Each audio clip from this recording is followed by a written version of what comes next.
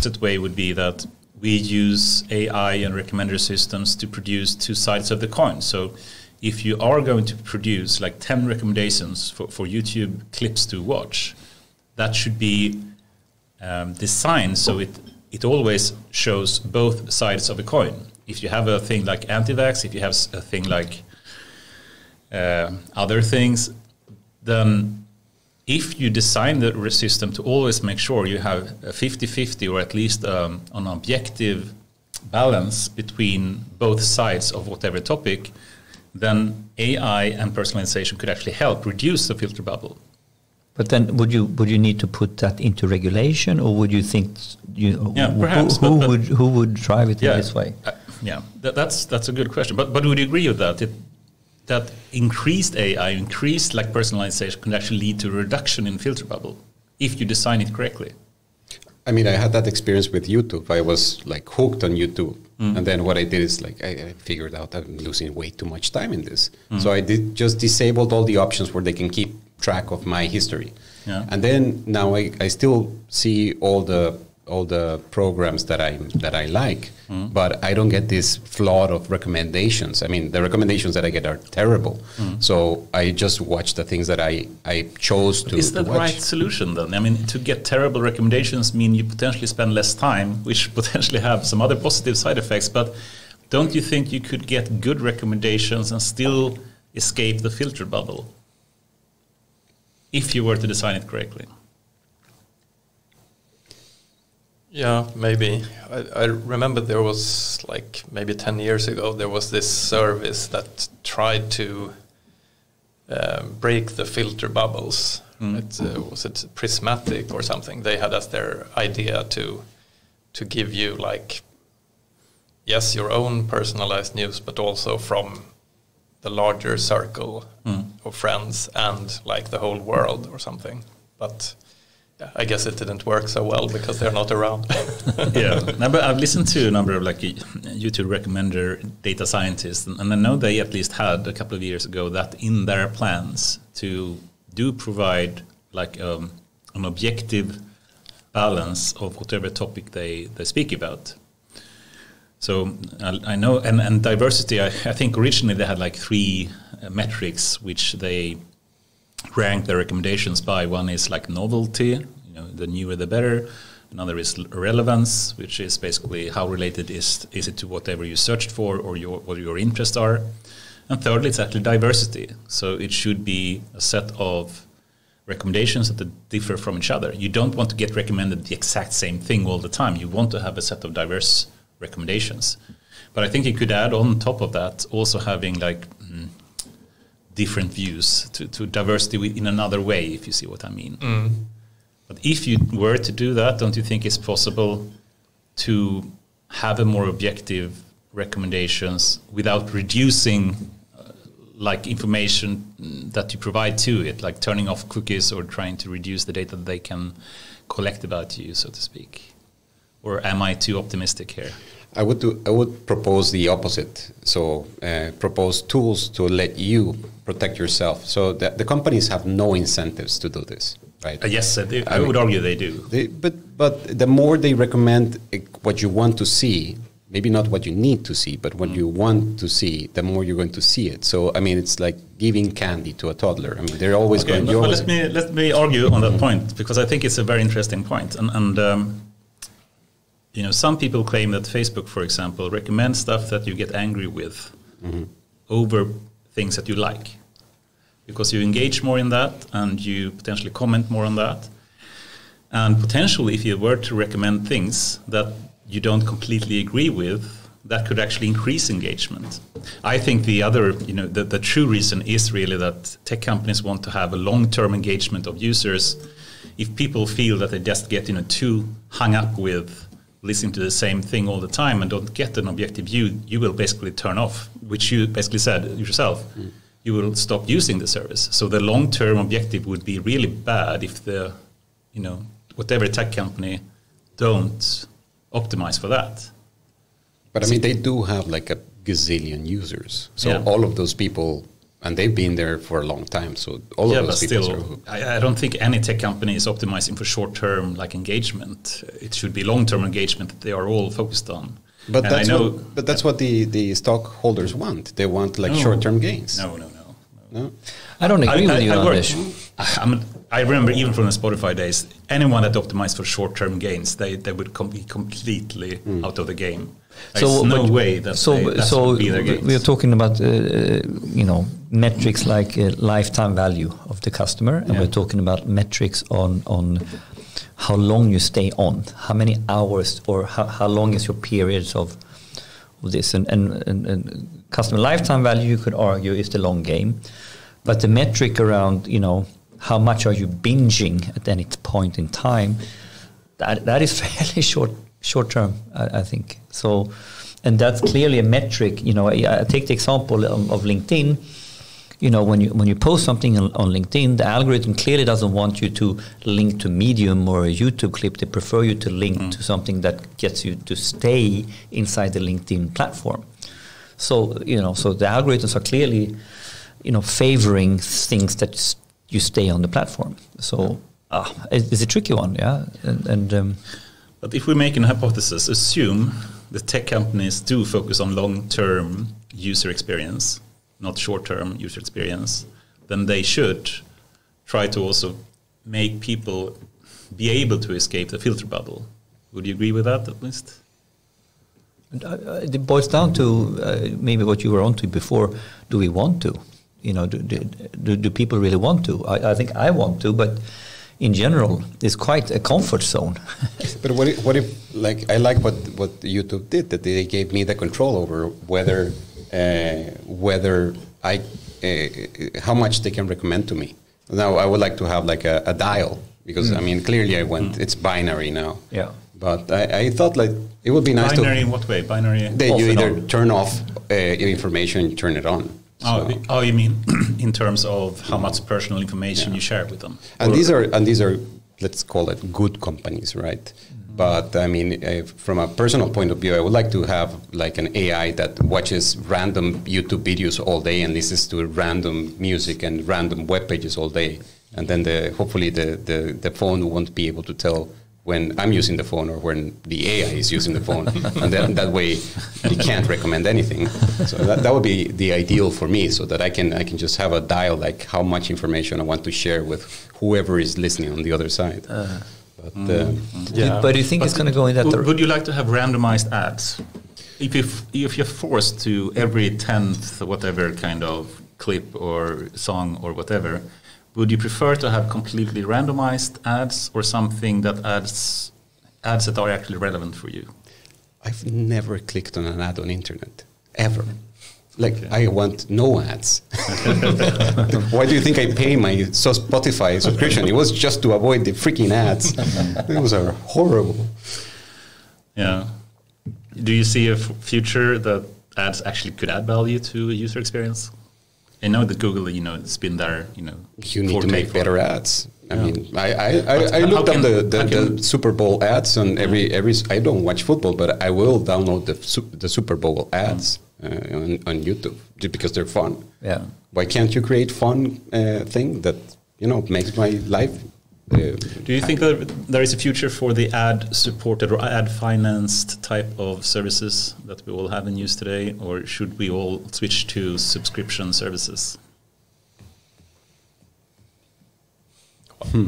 I'm the same as Alex. I never click ads. But uh, yeah, I'm kind of Would you prefer to have a su- subscription option in, in Google search? No, not personally. I'm pretty good at ignoring the ads. I'm a bit optimistic, I I think, about you know I've been working in the ad business as well at, some point far back in the future, but I think there is a time and a possibility that ads actually can add value for you. Um, it's not that good at uh, as organic results, but if they uh, have the proper intelligence and purpose, I think actually actually could add value as well. I mean, we're moving more into the influencer ads. So that's uh, somebody uh, that, let's say, you trust, right, and that knows what they're talking about. So it, it kind of I mean, I know that half of them are scams and they're paid to say whatever you pay them to say. But I mean, let's. I I have fallen uh, victim to buying something that somebody that I listen on a podcast uh, says like, oh, I tried this shaver and it's very nice. So I-. Yeah. oh yeah, I would like to have a better shaver. Yeah, but I'll buy that. You know, so things like Yeah, that I I think works. But there's, there's a person that is giving value to the ad. It's not just some ad company making up lies. So uh, the, the thing is that there's no. I don't trust anything that ads say because yeah, Uh, publicity. would you trust something that an AI says to you that this ad may be interesting for you? Perhaps you need to buy diapers because uh, your kid is suddenly pregnant, as the Google thing was. But um, Alexander Bard, a cyber philosopher in Sweden, he's been talking a, lo- a, a lot about this, and you know, uh, you know, uh, internet marketing doesn't work. It, we, we need to go to internet communication, and he, he highlights that you know, the new metrics is sort of you know, you know, attention is a, is a combination of um, uh, relevance and reach. So what I, what what his argument is that it's simply too much noise now, and, and, and that basically no one listens to any messages or take in any messages if it doesn't come from a source that you have a relationship to. So this is you know one story. You know, the first generation of this is the influencer.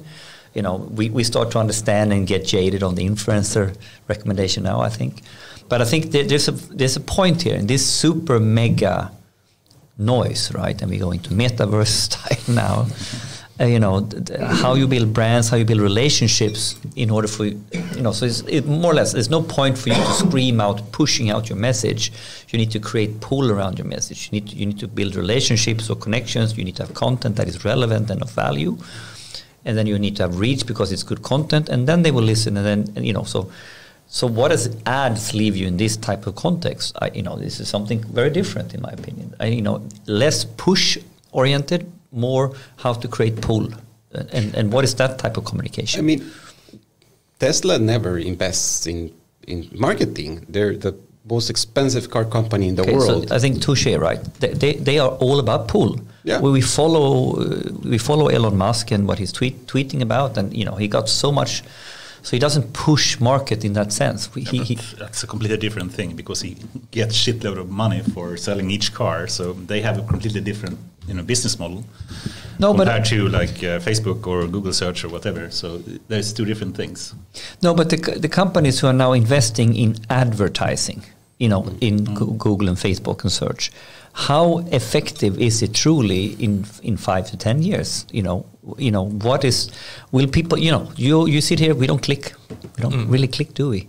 Uh, I, I I flip it. I click when I see something from a brand or from a friend that I trust you know, something that has meaning and value to me beforehand, I'm inclined to look at. If it just comes over me, you know, okay, then maybe the AI story. Then I, I'm, I'm in the search for something now. I'm, I'm, in, I'm in the mood to buy new boots, right? So when boots ad appeals to me right now, maybe Yeah. that's I one, one clicked way. on that as well. I bought like church and whatnot, you know, on ads. It's, uh, and it's been sometimes useful for me. Yeah. Okay, should we just circle back you know, to what this uh, discussion started with? And, and that was, I guess, um, the filter bubble of people and anti-vax versus people that do get vaccinated, you know, and, and you spoke about Hong Kong as well. And, and what was that about Hong Kong again, Mikael, uh, that you mentioned? Yeah, so basically there is a big surge now in in uh, coronavirus in Hong Kong. So over here, we've, I mean, the pandemic is, for all practical purposes, sort of a bit forgotten. Also, also due to the, the war in Ukraine, but in other pa- Pandemic continues. yeah, in other parts of the world. And Hong Kong has basically been suppressing it successfully for over two years. And now suddenly Omicron has hit really hard, and they have, I think, the largest um, sort of in fastest increase in cases and deaths that anyone has ever had. And almost really? 5,000 people died in the past weeks, like 250 people per day Jesus. which is a lot. So that's um, yeah, really surprising and, and scary. And you also, Alex, mentioned that uh, you also had some acquaintances that, that were still, even though you're a pro-vaccine, you, you had some acquaintances that had anti-vaccine interests or thoughts, right?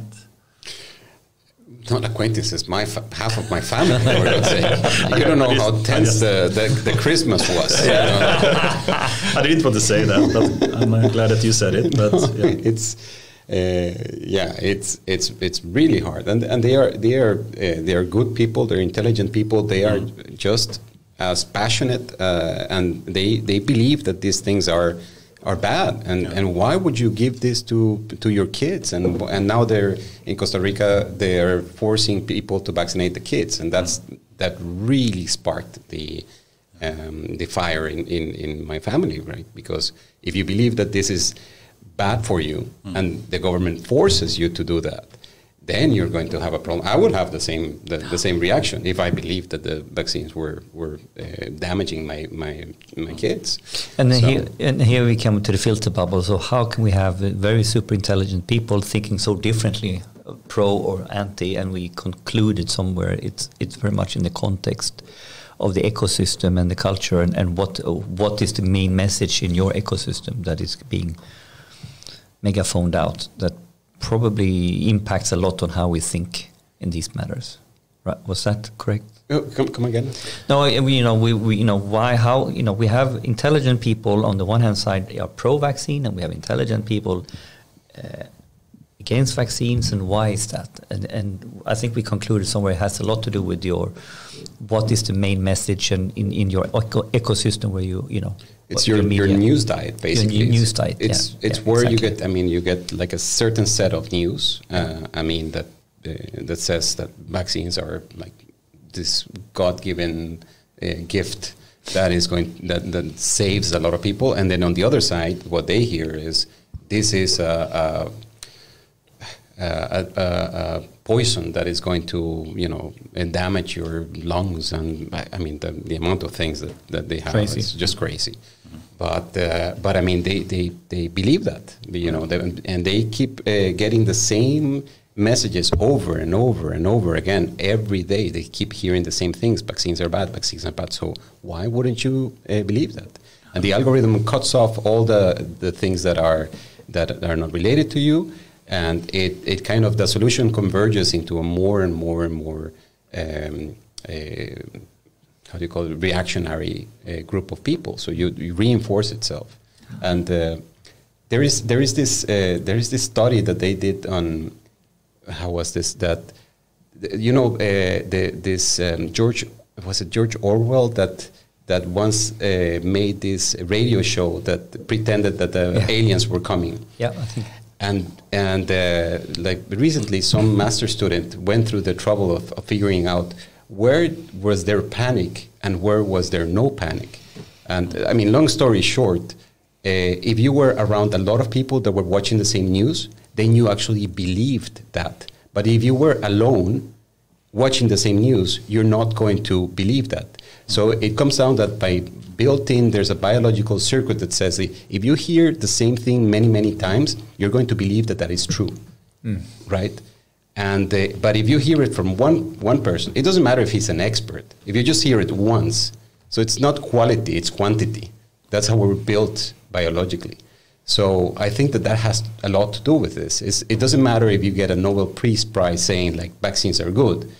If you hear uh, some YouTuber say it 5,000 times, that's going to be much more weight in your brain than the, the, the Nobel Prize winner. And it, that's what it comes down to. Just a, a, comment. I think it was Orson Welles. Orson yeah, Welles. Orson Welles. Thank you. Yeah. The, the War of the Worlds uh, in April Fool's Day or something like this. Yeah. Yeah, it was a very interesting. Uh, so any basically reinforced message um, have the power to convince more or less anyone to believe in some topic. Right? Yeah. What was it? The Hitler said, "Lie, lie, something will stay." Right. Uh, I haven't heard that. Uh, maybe I, I, haven't heard. But it, maybe I, I, just want to share. I, I saw a, a, LinkedIn comment of someone, um, a, a, Russian person. So this is uh, in connection to the war, who basically was putting out a message in, in that we need to help our friends in Russia by basically, you know, if we have friends and connections that live somewhere in Russia, you need to talk to them now. You need to chat with them. You need to email them. You need to explain and and, and convey the story that you hear because they are not hearing the same story and they're not understanding the situation in, in at all the same way. If you're a normal Russian person uh, in the street who is sort of getting, you know, one very clear, you know, filter bubble, so to speak. So I think that is also a quite interesting example, right? So if you want to break a filter bubble, you, you, you kind of need to go to have you got relations, you have trust in some way, and then you need to get messages from completely different places. So I think this topic is quite quite um, disturbing in, in, many ways. Yeah. Yeah, people are too easily fooled sometimes. And, and I think we should be humble that we all yeah. are. Yeah. That we all are. Yeah, yeah. anyone, anyone, yeah. sure. Awesome. Um, great to have you here, Mikael Huss and Alex uh, Fernandez. Mm -hmm. Mikael, uh, you and me have known each other for a long time. Not really sure how long, but it was before the Peltarion days, right? It was uh, some. Yeah, I mean, I we, we met at at some meetups before yeah. that, like maybe Stockholm Big Data and right. and and your machine learning yeah. meetups. Yeah. So maybe 10 years. yeah, it could be. well, um, I, I do have a lot of admira uh, admiration for, for you, and, and you're a person I respect a lot. I know you're you know knowledgeable person in, in both data science and bioinformatics. Um, I don't know you, you yet, Alex, but I've heard you have the same type of background, so very much looking forward to hearing more from, from you as well. And I mean, Mikael, you have like a number of like nature publications and whatnot. So you know, who couldn't be you know, having a huge respect for your knowledge and your skills? So with that, you know, it's a true pleasure to have you here, both the founders of Codon Company. And uh, yeah, with that, you know, should we start with perhaps you, Mikael? If, if mm. you were to just try to describe a bit more about yourself, you know, who, who is Mikael Huss? Uh, yeah, yeah. Thanks for the nice intro. Also, have a lot of uh, respect for you, Anders. Um, well, who who am I? Short story or long or long story? No, but I guess like I've been I've been interested in, in in sort of AI, machine learning, and biology as well since high school. So I was playing around with like trying to program some genetic algorithms and um, you know some primitive neural networks. Um, at so that, that was uh, five years ago, approximately. yeah, yeah, that, that that was a long time ago. uh, but then I'm also quite interested in languages, mm. so I had a hard time kind of choosing what I should study. So of course, then I did both. So I studied uh, molecular biotechnology engineering in Uppsala, but then I also studied Chinese. Right. So I lived uh, for a while in China, and um, and I got two degrees. And uh, you know, within this molecular biotechnology engineering program, I discovered that. Well, number one, I wasn't very good in the lab. number two, um, wet work. yeah, exactly. Uh, number two, there was this thing called bioinformatics where you could do mm. biology on computers. I was like, yay! and um, and also we had a course called uh, pattern recognition, which sort of blew me away. Like, wow, this is this is interesting. So basically, what we call, I guess, machine learning now, but but in a in a bit yeah, earlier form. It's more data mining type of, or was it called actually pattern recognition? Yeah, the course was called okay. pattern recognition. So mm. it was like things like um, principal component analysis and um, like uh, k-means clustering and yeah, so stuff like that.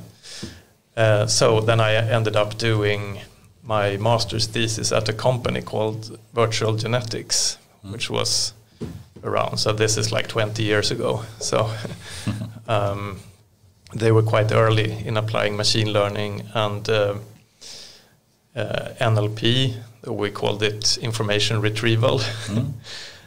and uh, yeah, that was that was really fun. We were doing. But yeah. if we just, you know, I think it's nice to just try to have a clear understanding of what different terms mean. So information Yeah. retrieval for me, and please correct me if you disagree, is more of the search engine type of use case where you try to map like some kind of query to a set of documents and then you have information extraction and NLP can be so many other things as well or what do you mean with information retrieval I know like Yeah. music information retrieval is not really like text information retrieval and it's such, such a confusion I think sometimes with the terminology here Yeah, no, you're absolutely right. I, I think we were talking about information retrieval in that company because it was partly uh, started by search engine okay. specialists. I see. And then we had these like textbooks about information retrieval, Yeah. but they contain things about like uh, TF-IDF, you know, Yeah, the way yeah. to rank uh, terms and, and search. And, and we did um, some, yeah, we, we had a search engine Mm. and then we did like similarity search, pretty primitive compared to what you can do today, but Mm. and trying to come up with ways to flag or like find keywords in medical abstracts. So we were analyzing Ah. medical so it wasn't genetics in any way it was truly text at that point as well Yeah, yeah, yeah. And and then there was like another arm of the company that made a platform for uh, machine learning on molecule fragments, like predicting what activity they would have. And we were using basically uh, ensemble algorithms, boosting and What do you think about ensemble algorithms? I guess you know what I think, but what do you think about them? Uh, I'm not trying to lead you here to an answer, but still. okay, I, yeah, I don't know if I if I ever have thought in those terms. If I think no, but skip I, the question. yeah. But I, no, but I I I, uh, I, I- I use uh, gradient boosting Mm. quite a lot. So I mean, that's a good one. I, I wouldn't call that an ensemble, but still, yeah, Ah, okay. I see what you mean. What is ensemble?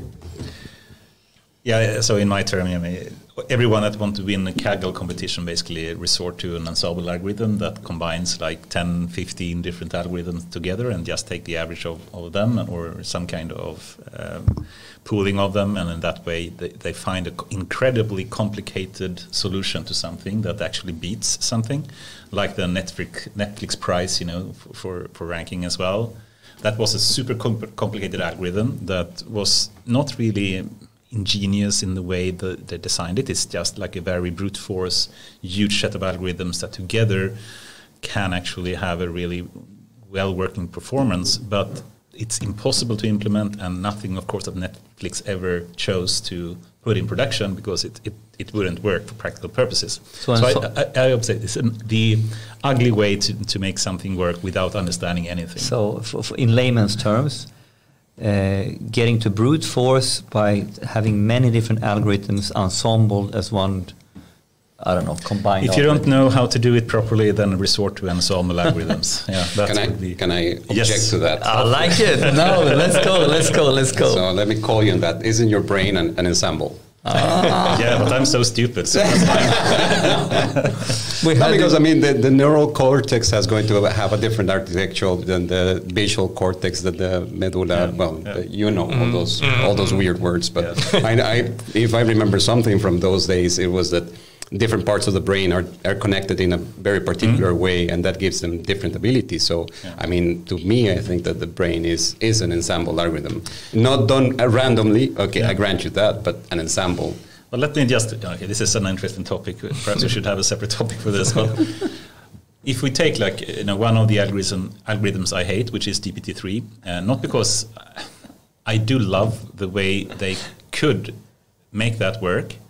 Uh, I just dislike what people think about it and think it's actually something of practical use. But it, it, I think what I do love about it is that it's a super, super simple idea. A single objective of just predicting the next word that seems to emerge into something that can do so many different things, so many different tasks. It's just by scaling up both the model and the data it's trained on, you can do so many things. So in that sense, I would say it's not an ensemble because it's a single objective that is training everything. Whereas an ensemble, and, and that's the same for the human brain then. So the human mm-hmm. brain is also having these kind of synapses, and I'm moving into your speciality here, so I'm going out on a limb, but Yeah. Tread carefully. Carefully. oh, I love that- in this. that- It's going to be fun. do you see the point here? That you know, even though the human brain has so many different you know areas in the brain that are good at different different things, and, and you can have connections from wherever it can be. The same you could argue for a big neural network. If it's still trained with a single objective that can be routed to every anything, it's still a very simple and single way to train it. And an ensemble is the opposite, that you have different objectives, different ways to train something um, compared to, to the single objective. You see m- my point? Yeah, yeah, but I th- see it as a technicality. Like, that, well, okay, you you have a different training training uh, algorithm for different uh, models. I but the, the more manual, hard-coded inductive priors that you add to the algorithms, the worse it is. yeah, So in that sense, the, the brain had have some you know genetic priors, of course, in it, but an, an ensemble algorithm have a huge number of priors that you manually put into it, and that makes it ugly. That is also what like makes GPT still beautiful because it's a very simple prior. Just predict the next word that you train on. But it, but the, the main thing you, you you are getting hooked up now, and you, you're sort of uh, putting up, um you know, a rant. To be honest, An important discussion. It's not no, a it's rant. a rant. It's No, a rant. no. The rant you have right now is that it's it has you know mm, limited usefulness in production because in order But that's a different topic. But I think Is, is that what the rant is all about? No, it's not. I think the- ensemble versus not ensemble. I think that's the, the, the core question here. And I would argue that the human brain is not that much of an ensemble. But I can see your point. It partly is. But why, why, why, do you put the rant up to, oh, I don't like ensembles? You know what I think about ensembles. You know, because it's, it's so much manual coding into it. It's not, you know, you don't know what to do, so you put in, you know, 15 different algorithms, and then you just take the average of them, and then that is not like something that can be as cleanly defined as just predicting the next word. It's a simple objective. and what's the problem with that? Isn't, isn't that that, you know, to It's keep not a that... scalable solution. Exactly. It, so the problem with that is usefulness, production, maintainability, scalability. Yeah. Uh, just to be clear, like the ensemble methods that I mentioned that that triggered this, they are decision tree ensembles. Ah, okay. So it's it's the same. Then it's the same It's- objective. it's the same same. So now it's a nice ensemble. nice. it's a It's a good, sem- semi it's a good, good example. A good ensemble. Yes. Oh, it's fine. Yeah. The, and in those days, it was bagging and boosting, and Yeah. then random forest, and then gradient, Gradient boosting. boost. But Yeah, I think both random forest and, and gradient boosting are beautiful algorithms. what I don't like is, is when you combine, you know, a large Yeah. number of rule-based versus learned versus like decision trees versus neural network versus genetic algorithms versus whatever, and you just do that and then take the average, and you have no clue really how to design it. You just try it out and you don't know what you're doing. That is more my rant. That's your rant. Let's get out of this hole. Okay. Anyway, getting Yeah. back to, or yeah, would you agree, by the way, or do you see some problem with the ugly part of Uh, yeah, I don't. I don't really use those kinds of models either. Um, yeah, no, I I, I don't. Okay, So- cool. Getting back to, okay, we spoke about uh, virtual genetic, genetics, right? Yeah, Or what was exactly. that? And then you had information retrieval. You want to find things from uh, medical abstract, right? And information Yeah. retrieval techniques at that time. yeah, so that was a nice uh, intro, and and then. Um, yeah, the IT bubble burst, and also uh, I had a colleague there who was a um, uh, uh, what's it called, like an industrial PhD student. So he was both at Karolinska Institute and at Virtual Genetics, and he was doing such nice and fun projects. So it seemed, oh, doing a PhD seems like a nice thing. So maybe I should try to do that now that this company seems to be going south. Oh, so that's what the reason you pursued a PhD. That's Yeah. You could see the IT bubble bursting, and then yeah, you jumped into academia. yeah. Then I, I, I had this friend who was uh, who was doing this, and he, he's now a professor at KI, by the way.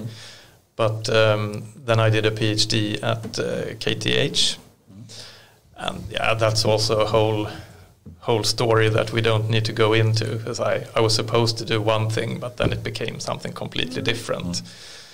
But uh, yeah, that completely different thing was um, to model biological neural networks, not Mm. artificial neural networks, but like actual neural networks in the spinal cord of uh, lamprey, uh, nejonöga in Swedish, which is like an eel-like vertebrate fish that um, is like so the type of an animal, uh, Yeah. type of fish. yeah, it's considered the T Ford of locomotion research because it's the simplest organism that we have still alive, like that still uh, exists, so from the really original ur uh, what do you call it in co- uh, One of the original uh, type um, locomotive animals. yeah, it's, it's like the most primitive animal that has a survived uh, yeah that, that has a, a spinal cord. So it could be like a yeah a T Ford. It should be the simplest model system, but it's still pretty darn difficult to analyze. And- so you try to simulate that, or what? Yeah, uh, try to simulate how it how it swims and different aspects of that. And I mean, a lot of people had. It was a whole whole big uh, research group that did that. So And, and what is the promise of working with the biological neural networks? What, what is the opportunity or use cases that is appealing with this? one thing is simply understanding how it works, but uh, like I think the the best application is to is to treat spinal cord injuries. Like try to use that knowledge to uh, yeah to to help people who had spinal cord injuries. But my research was very far from that. It was more basic basic research.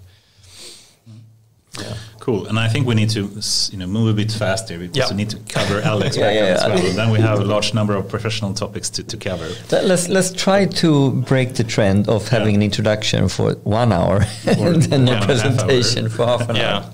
Okay, but you went into the PhD. Is, is that something you still are you know happy with, um, or do you think you could have? Would you do a PhD again if you were to go back to that time? Uh, that's a good question. Yeah, I, I think so. I mean, I didn't think so during the PhD because it was very hard and and like yeah, it's uh, a lot of desperation when you try to write your papers and stuff like that. But but I'm still quite happy in in retrospect. You're a better person for it. yeah, I I mean, hope it's so. a nice experience to, to go through. I think. Yeah. Once you actually gone through it, at least, right? yeah, you, you learn a lot about your your yourself and how you react to. Would you adverse agree also events. that PhD is more about the journey to actually learn how to do science rather than the subject that you potentially have learned? Yeah, I would say so. Actually, it's uh, about learning learning how to do science. Yeah, Awesome. What happened after the PhD? yeah. So then I went to Singapore to do a postdoc and uh, switched fields again. Uh, I, yeah, you could say I, I went back to where I somehow started in in bioinformatics. Uh, but at that time, there had been a big revolution in DNA sequencing. So they had all of these shiny new instruments that were churning out data, and people didn't really know what to what to do with it.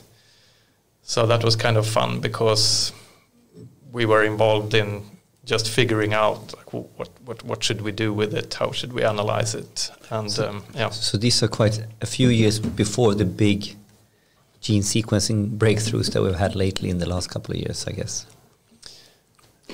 Um, yeah, I don't, I don't know what you're. re- No, re- I, I think to there's, there's exactly, been a lot of. Uh, w- I mean, even at that time, I think they had a number of breakthroughs. You had a number of breakthroughs already then, but uh, I, I, I, I don't know this. I'm, t- I'm talking the, the You're speaking to experts here in. Uh, Yeah, I know. So I was trying to understand, uh, you know, what what this was all about versus. wh- I don't even know the correct. We're talking about the Yeah, no, so- metaphor or meta. I can't even say it correctly. Yeah. Oh, okay. Yeah. Then I then I understand what you mean. Well, I mean, there was a project that took about ten years uh, in the '90s about sequencing the first human genome. So it took ten years and cost what, like three billion? Yeah. no, I, I don't know. Uh, but then after 2007, with these new instruments, it went dramatically down, and now you can sequence a genome for like I don't know a couple of hundred dollars, A hundred dollars. a hundred dollars. Yeah, it's crazy. It's. Do you know the the Moore's law? Yeah, mm-hmm. Well, sequencing is like Moore's law exponential. exponential. Yeah. it's, it's insane. it's insane, right? It's cheaper to sequence a tumor than to take a picture of it with an MRI machine. That's Yes. Yeah, this is so so insane, and and of course now in the vaccine development and how we have seen that with COVID, of course it came to practice in in a very Yeah. concrete ways how modern and mm-hmm. you know what they could do, Exactly. how Yeah. fast, how fast. Yeah. Awesome. Okay. Uh, and um, you know, Singapore is a nice city, right? Mm, Surprisingly, uh, or h- how would you describe Singapore as a city? Well, it's a very livable city, quite well ordered. Um, and But they have severe fines, right? If you do something bad. right? Spit. yeah, I, I never got to pay any of those, but but yeah, yeah, there are the, the- there are rules for sort of uh, drinking water on the subway and and stuff like that. Uh, but yeah, it was a nice experience to live there. Um, yeah, everything works. Yeah. It's a very well organized city. yeah. And then you, yeah, and then you went back and, and continued with, or how did you come back to Sweden, by the way? Yeah, it was. I, I guess it was a combination of uh, personal things, just wanting to get back to to family and friends, but also there was a new research center that was being set up, Science for Life Laboratory or SciLife Lab. And since I had been at the same kind of institute in Singapore, they thought I would be an interesting employee. So I started there like almost at the same time as it was opened in in And Solna. what's the mission of SciLife Lab? Uh, I guess now it has a, a lot of missions, but it, it's both both research and providing infrastructure, like providing really heavy machinery for w- what they call high throughput biology, so like DNA sequencers and protein mass spectrometers, where you can measure proteins and imaging and you know, measuring a lot of different things. Yeah. Uh, yeah. And and then speaking of trying to push forward here in the the background, so we can move into also interesting topics. But uh, you moved into more data science topics later, right? After, yeah um, yeah so it, it was a mixed bag i mean when i came back to stockholm i started to attend all of this because I, I had kept this interest in data science and machine learning all the time. I had started a blog that Right. that, uh, that is called follow the data that right. I, Yeah, I haven't updated now in a while but i started that in singapore. And then when i came back i started to go to all of these meetups and and um, yeah, doing some hobby projects in ML, and I also did some ML inspired things in my in my work at SciLife Lab. Um, and then, yeah, eventually, 2017, I decided to just go all, all out uh, ML and and work with that in industry. And that was first in IBM, or what? uh, what was the first? Yeah, Right. that was at IBM.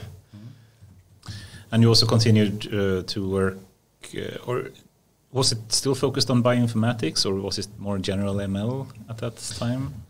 At IBM, no, it was.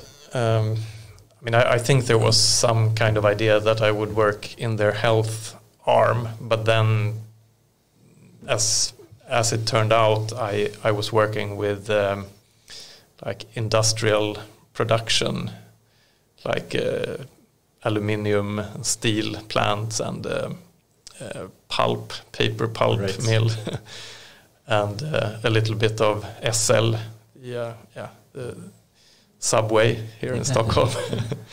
but but it was um, it, it was only six months Yeah. because uh, I mean, yeah, go, going a bit ahead here, I, I started at Peltarion Yeah. after that, and I had already like applied to Peltarion before I started at IBM, but Mm. then there was yeah, because there was no opportunity there. But then when they came back to me, then I decided, well, I I still want to work What there. attracted you to Peltarion, by the way? And yeah, I, I worked there as well, of course. But what yeah, attracted you to Peltarion? I think it was uh, the people uh, were one big thing. Like, I mean, you, you were working there, and uh, Lars Sjösund, who I knew from Stockholm AI, I, I had I had become quite engaged in the Stockholm AI meetup Right. group, Yeah. and then I um, then I also uh, had heard that the founders were very clever and had done cool things. So I guess that was the main reason. Yeah. Awesome. Um, I think we hold off with Codon Yeah. because we can take that together, both of you. But before we move there, perhaps we could get the intro for Alex as well. Um, unless there is something else you would like to add before we move into. No, I think we can. Yeah. Awesome. So, Alex, you know, how would you describe yourself? So it Alex? all started in in a Once little upon a- ti- once upon a time. in a little country called Costa Rica. Okay, so you came from Costa Rica. then. So I am from a shinier place. Yes, um, Where in Costa Rica? it's well, San Jose is pretty much San Jose, yeah. the city capital. Yeah, the capital, yeah. Yeah. Wow, it's a very small country, but I've been yeah. there twice. Uh-huh. Ah, Ah, so you I- like it? I love it. Mm. I think it's fantastic, both from the surfing and the ecotourism. Fantastic. My favorites that stayed a little bit in Tamarindo and then down Santa Teresa. Of those course. places. I don't know. So maybe different to uh, San Jose was, a little bit. I was in a in a in a restaurant in Santa Teresa, and mm, our table was the only non-Swedish table, Swedes love this place. including the owners. Isn't I that mean, funny? It's so like- Santa Teresa has been sort of invaded by Swedes. It's invaded by Swedes. Well, you know, I didn't know this. yeah, I it's- knew that. It's it's a, another like a little Stockholm. uh, backpacking, maybe I don't know, surfing wannabes. Cool. Yeah. Anyway, But anyway, yeah. So basically, yeah, I yeah, I come from uh, originally from Costa Rica. I moved in here in 2008. In in 2008, I um, I started uh, with a master's in in um, bioinformatics in KTH. Okay. And then I started, uh, I got like six months of that. And then my supervisor told me, oh, there's this PI in Karolinska that needs a bioinformatician. Do you want to, you know, like work half time there? And then, um, yeah, sure.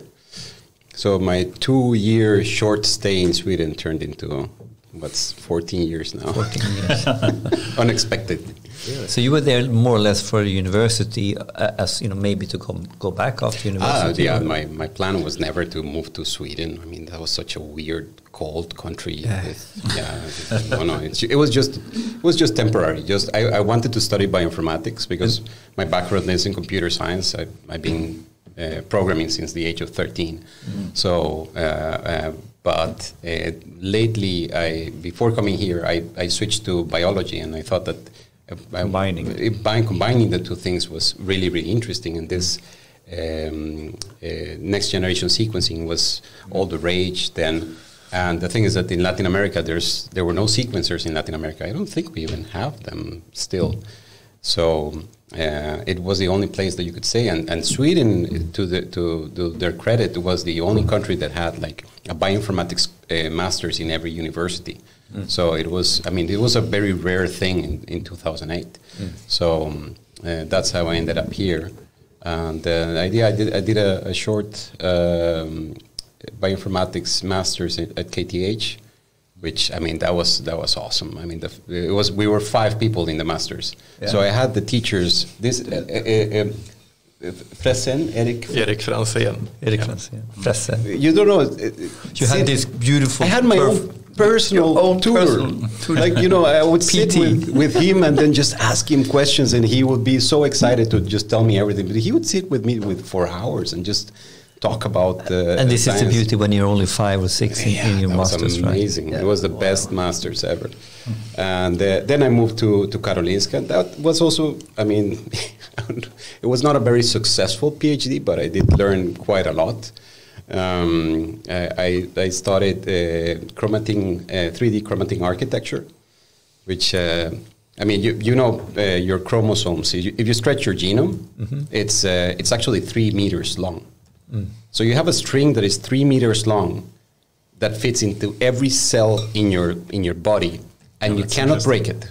You need to duplicate it, and uh, so take it apart each chromosome one by one, throw it into a big ball of twine, and you cannot break it, right? Because then you get mutations and stuff. Mutation. So it's it's a, uh, the this uh, my PhD was about figuring out how does this three meters ball of twine gets to fold into this minuscule little space without tangling and uh, and uh, and you know depending on how you fold the genome you get either an eye or a or a foot right So the folding is where the the true information. It's it's a, so it's it's an area called epigenetics. So it's uh, it's the reason why you have the exact same genome in your eye and your foot, but you don't see with your feet, right? so it's it's the it's the other the, the software layer of the cell because the the, the, the genome is hardware. I mean, it, you can't change it. Uh, so the, the epigenome is more like the software. It's the things that you can modify to get different cell types out of the exact same genome. So, would you say like the, the pro processor in a computer is like a genome, and the software that you run on the processor is the epigenetics? Or? Yeah, I mean, the, it's it's hard because in biology, the there's no difference between the the processor and the program. It's all mixed together. So it's it's it's the wrong analogy because Okay. it, you don't have a processor. In the, the, the, the code is the program. So it's um, yeah, it's kind of Yeah, complicated, but. Um, yeah, so that was that was pretty cool, and because none of the experiments worked, I had to try everything and learn everything. And uh, because I was the only bioinformatician in the entire building, I, I didn't have anybody to ask, so I had to learn ev- everything by myself.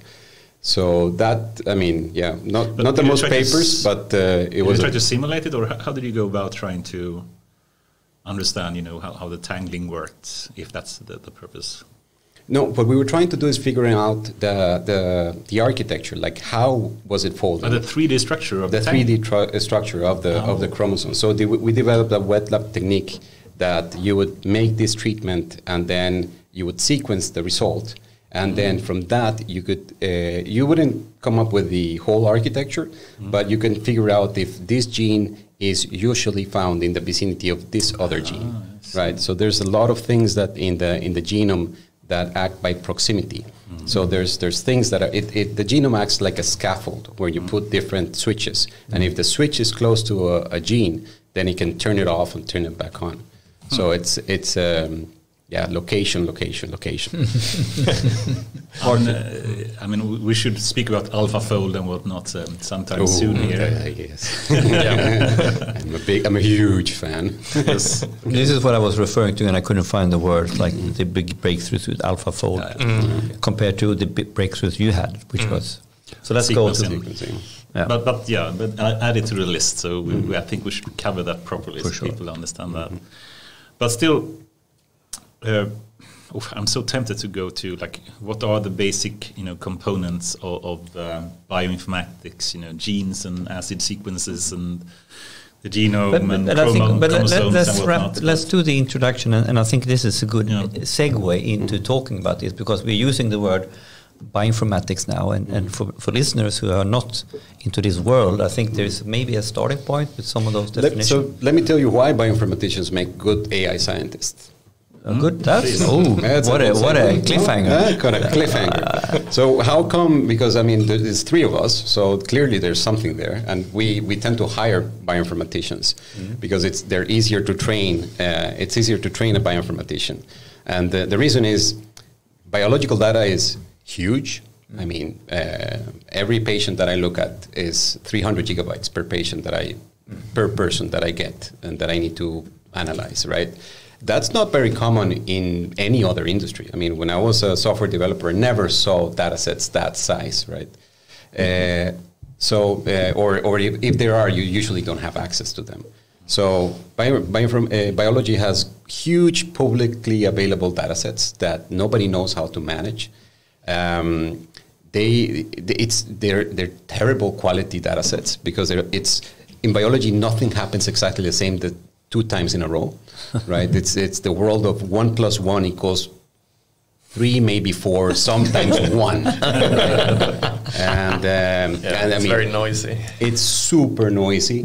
So we're used to dealing with these imperfect data sets, huge data So sets, you and make it work anyway. and you have to make it work, right? So now you the, all the tips and tricks that becomes really Yeah. for the dirty world useful. Yeah. And uh, in, in Sweden, at least we had, I had the benefit of, uh, my boss came, the, the first project that he gave me was, oh, you're a computer guy. Well, uh, I need you to do this. Oof, that's going to take six years to, to process. well, uh, but how can we make it quicker? Well, I would need like a ton of computers. Well, we have like a thousand uh, computers in the in the cluster. Why don't you use those? I was like, okay. so I mean, that's the and, and it was impossible to solve that particular problem. No matter how clever I write the, the software, it's, it's to this day you cannot solve that without uh, a massive amount of computers. And uh, Without ensemble algorithms as well. okay, awesome. Um, so ho- how? I'm still trying to figure out. You know, what was the, the main main contributions of, of the PhD work? Was it to try to understand how the actual structure was located for specific like genomes, or was it how to, to do that, or what was? How would you describe? You know, what the main purpose was? we were trying to figure out. Um, so, like I said, there's there's regions of the genome where where you have switches, Yeah. right? And uh, normally, those switches affect only the gene. The, you think of the of the chromosomes as a linear plane, right? Yeah. So you have in position five, you have a switch, and then you have a gene in position uh, 50, mm-hmm. right? And then you say, okay, because it's very close, then the, this this switch in position five is going to affect. So that's true. When they're linearly close, mm-hmm. then it affects. But what they found out is that I mean, sometimes you can be five million bases away, mm-hmm. and you still are regulated by the same switch. And that's because they are Because in 3D. In 3D, they're in the same place most of the time. right, right, right. Uh, and also, I mean, there's different densities of uh, how deep into the wormhole do you, because, you know, I don't know how deep you want to go into this. Please, but, love uh, it, love it. But I mean, there's there's different densities of, of the folding. So there's there's there's parts of the chromosome that are so tightly packed that they cannot be opened to express the genes that they encode. And those those parts are the are the, the genes that you're not supposed to express in that particular cell type. Okay. So the, the, the compaction of the uh, of the of the chromosomes plays a plays a role, and also the proximity of different elements or different genes to each other play I a role. see. So you need So- to find all these kind of features so- that impact. you And know- this is beyond the resolution of, of even the highest microscopes, right? Yeah, right. So, uh, so what you need to do is you need to use next generation sequencing to what, what uh, essentially the, the protocol that we that we designed was you you take a, a the, this ball of twine and you throw a, you you submerge it in glue, right? Mm-hmm. So now everything that is kind of in the same place it sticks together. Mhm, yeah, Okay. yeah. Now take that glue and grind it. okay, and make little like chop it up into a million pieces. Yeah. And uh, now you're going to have pieces of glue that have pieces of one chromosome and pieces of another chromosome. Uh-huh. Okay. Now you have these strings uh, tie, uh, glued together. Now, now tie two of them, rejoin them, and so that they're now one consecutive piece of DNA, and now sequence that. Yeah, right. So what I would get is, uh, let's say, uh, a billion little pieces of, of, of sequence that I have to uh, map to the genome. And, and the, uh, okay, and the, the tricky part is that every cell has a slightly different config, well, a very different configuration. So now you take you take all that, you throw them into a blender, you mix them up. So I get one piece from one cell, another piece from another cell. So what we would get is like, okay, these two parts of the chromosome are usually together. So why is that? You know, and then that's what the the whole uh, well the, the whole uh, PhD was trying to to optimize the the uh, the uh, bioinformatic pipeline to analyze that type of data because nobody had done that this type of of uh, protocol before. There's Because, because sim- really, th- this is so complicated. So you need to basically build the pipeline. You need to build the production line in order to even analyze this. Oh yeah, yeah, yeah, yeah. And I mean, it's full of artifacts.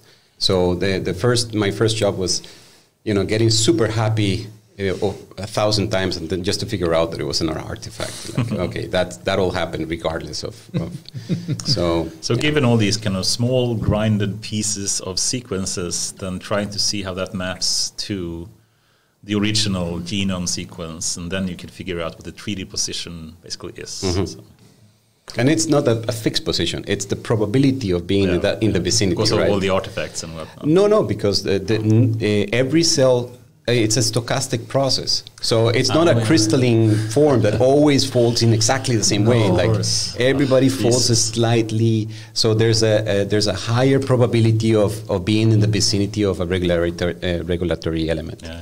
You know, so it's. Um, yeah, it's it's a it's a It's very tricky interesting. problem. It's a Yeah. very uh, it's a- Interesting It was a really really cool problem. Uh, I, I had lots of fun uh, with the cluster and trying different things and uh, yeah.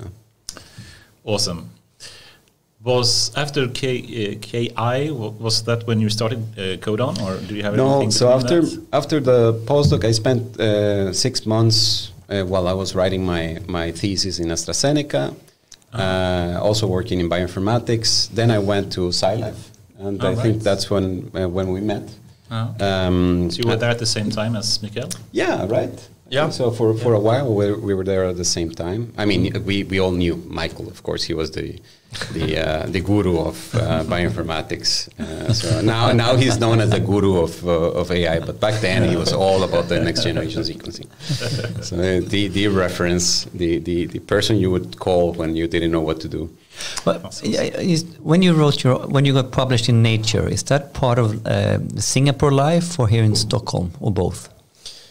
Yeah, so Nature, like I, I've published one paper in the journal that is just called Nature, but Nature also has some some like other titles like Nature Genetics, Nature Biotechnology, Nature Methods, etc. So the one that was in the Nature Nature was uh, part of Singapore Life. Yeah. Yeah, And, the, and, and, and for no one who doesn't know, nature is a big deal, you know, in academic circuits. I would say. Yeah. It doesn't matter which discipline you're in. So it's a big deal, even if you're not. Yeah, right. In my opinion. Yeah, I mean, it, it, it is a big deal. In um, biology, you talk about CNS, cell, nature, and science. Tho- those are like the big ones. Um, but even for physics or anything else, Yeah. nature and science are are the big ones. What do you think about some people that say that DeepMind, you know, that get published rather frequently in both science and nature, have um, what do you call it, a fast lane into that because of who they are and potentially the importance or the way they select articles these days has degraded in some way. Can you see what I mean? I, I'm not sure if it's true uh, because it's still, of course, super big in you know inventions and and, and knowledge that they have provided, but some people claim that you know they they just get published because who they are rather than what they did, and it's super hard for anyone else to get in there these days.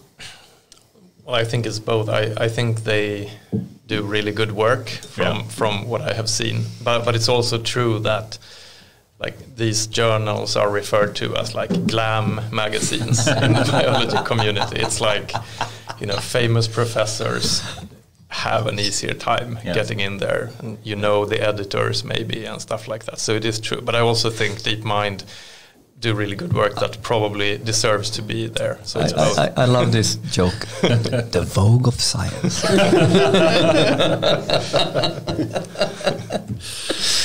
anyway, but, but I just wanted, uh, yeah. But when you were, uh, you were there together, and then um, you used to wrap up that part of the story. Oh yeah. So as I am in in science in in sci life, and I'm, I'm a happy camper there. I'm I, I'm a um, I'm doing uh, bioinformatics and um, I'm having fun. And then the the Eric, the, the the other uh, Codon confounder, t- turns around to me. and t- Confounder. uh, confounder, the other confounder. Um, he tells me like, ah, let's start a company. I said, eh, okay. What year was that? huh? What year was that? Yeah, I mean, this is not Codon yet. No, it's that's not double, That's double strand. We Okay. started. We started a bioinformatics company. It, it was two years before Codon, and Codon is three years, so maybe five years ago. Yeah. So what's the name of that company? Double strand bioinformatics. Oh, double strand. So and that's that's we started double strand bioinformatics and doing again bioinformatics and a, a little bit of machine learning, and then all is good, and we survived, and it was it was go- going well, and then we remembered this guy was, uh, and then we said like Mikael, we should start a company together, and then we then we started uh, Codon, and then yeah, the rest is history. But the people from Double Strand also joined Codon, basically. It was only two. It was it was Ah, Eric and me. So Okay. we were two. We were two guys, and uh, yeah, we just uh, we saw that there was. Uh, I mean, there was a lot of of. Uh, we still do a lot of bioinformatics, and and we're trying to make a niche for ourselves in the in the biotech, like being the AI of biotech, Yeah. uh, because we all come from the um, from the, the biological world, and um, but uh, there we we also have like like completely AI and completely ML unrelated uh, projects. Or pure A. I'm sorry. okay, but what, what year was this? When did you get started with Codon? 2019. 2019. And the founders are you two and Eric and two or No, that's this is the three? Yeah, ones? well, yeah, well, there was a fourth founder also, but he moved to Taiwan. So yeah, uh, decided to. And what was the thinking? What, what do you say the, the mission and the speciality of Codon is? I mean, it's kind of obvious, but, but still. How would you phrase the speciality of Codon? And what does the name come from, by the way? Yeah, so uh, you know the genetic code. Yeah. the the genetic code that like determines how uh, DNA is translated to amino acids. So codon is a is a triplet of nucleotides that codes for an amino acid. But then we also thought like yeah, it has something to do with coding. It's like a, it's- it's like a, a, a dual dual purpose word. Cool. But yeah, it's a triplet of nucleotides. And you were a triple as well. yeah. that joined it, right? Oh, okay, Ah, I see it. I think uh, uh, most other people that don't know bioinformatics just thinks, you know, Cool name. software coding, right? But Yeah, exactly. Yeah, no, but we're a, a consultancy in machine learning and data science, and we, you know, do all kinds of projects. Like we can do them from from start to end, or or or some part of them. And as Alex said, we we do all kinds of projects. Uh, due to our background, maybe we have an extra edge in life science, uh, but yeah, we have all kinds of projects. Can you give some highlights, perhaps? Some interesting projects you have worked with? Oh, yeah, I, I, I no, don't look at me. I don't know. I have signed so many NDAs. I don't know what I can say. you know, Yeah. like- I'm always afraid of saying the wrong thing. Yeah, well, I mean, one project that that I guess we can talk about is with uh, Svegro. So that's an uh, ecological um, what's it called ecological greenhouse company that's on uh, Färingsö next to Ekerö outside of Stockholm. And yeah, they they are quite big in the area. You know, when you go to you know or Coop or, or another shop and you buy like a you buy like a pot with basil or something like that, it's often from Svegro. And uh, we have we have uh, or we are still uh, building out a solution for them for forecasting their yields. And there we have worked on the on the whole chain. We we started by setting up cameras. I guess you were out there. No, Eric was the uh, one. Eric was- climbing a ladder and nailing Yeah. the cameras to the to the posts. Yeah, setting up the The- the- cameras. The, entire process, That's yeah, end to end. end to end. Yeah, and then we have trained models to you know estimate how how tall they are. I mean, on average, of course, they are So huge. I mean, I think you would need to, to just elaborate a bit more. Yields meaning like some kind of plants growing somewhere in some. Yeah, yeah. Uh, actually, where uh, actually I, I was a bit imprecise. It's actually the height that we are looking at in most of the cases because you know they need to grow them to a certain height because they have to fit in these bags with the pots. They have different different sizes and they need to plan, and it's a huge operation. I think they said they can they can produce like 30 million of, of these a year or something like that.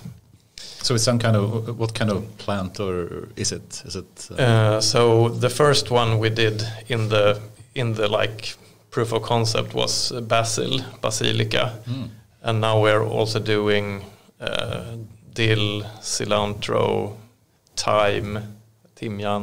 uh, So this is when you go to some IKEA and you buy your pot of basil, and then, Yeah. and basically, this they are picked at a certain time when they have a certain height, so they fit perfectly in the bag. The way to Yeah. present it. Yeah, but the problem Yeah. is even is is is tough because uh, on a Monday you need this many, Ah. but on a Thursday you need this many.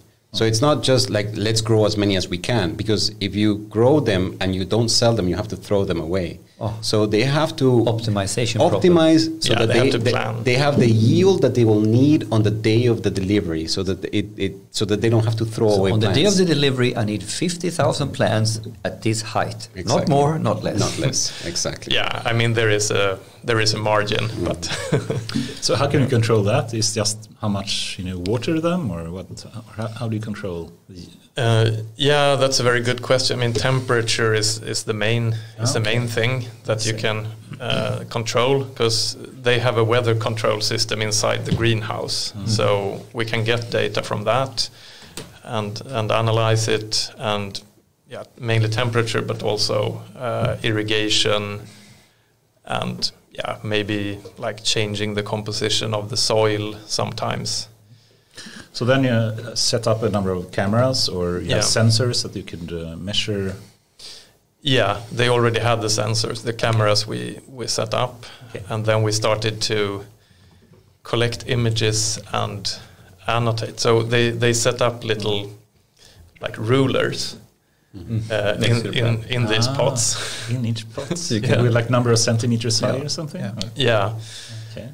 and um, and then they have a QR code, and we, we also did the like thing that prints out the QR codes, and then it recognizes a QR code because it's important to know when this crop was planted, uh, because they they have this you know schedule, and then um, and then we started to collect a lot of images, and we sat in the summer of 2020 looking at a lot of these images and counting the lines on this ruler and like oh eight, Annotating. 12 yeah just annotating thousands of images Everything looked like basil To get the training, to get You a were dreaming training about data basil. set. You were dreaming about basil. yeah yeah to get a good training data set Yeah. And what type of model were you using, if you can share? um, yeah so in, in the end it turned out to be a efficient net Hmm? uh, I yeah I forgot B4 or something, or B1? I, I think it was B4 but not 100% sure anymore but I think it was B4 And and for people that's interested, efficient net is like an, um, a neural architectural search optimized version of like ResNet or something, right? Yeah, uh, I yeah I, I know it's a neural architecture search based, but yeah, that that's about what I know. We tried a lot of different ones. Mm. And, and but, but let me let me ask this from another angle. Uh, what was your process to find the, the different, you know, in, very practically? How did you go about to try to find the right algorithm to fit the problem, and how much did you have to code, and how how much could you find it in a, you know, in a, in a TensorFlow library or something like this? So, uh, on a very practical term, how, how did Yeah. you go about it? Yeah.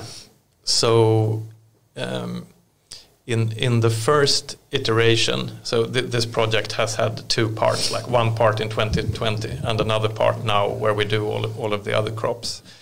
In the first one, we actually used the Peltarion platform Ah, to cool. to find the yeah find the best model. Cool. Um, yeah. so That, that's our, our modus operandi. We first do a proof of concept with Yeah. uh, with a new customer. We always recommend let's do a proof of concept. Make sure that you have the data in place, that you have that you're interested in the right questions. I mean, I mean that are answerable questions Yeah. because uh, I mean we get people that want like a general AI uh, solution and and uh, and and then the other You side. don't have a solution for that again?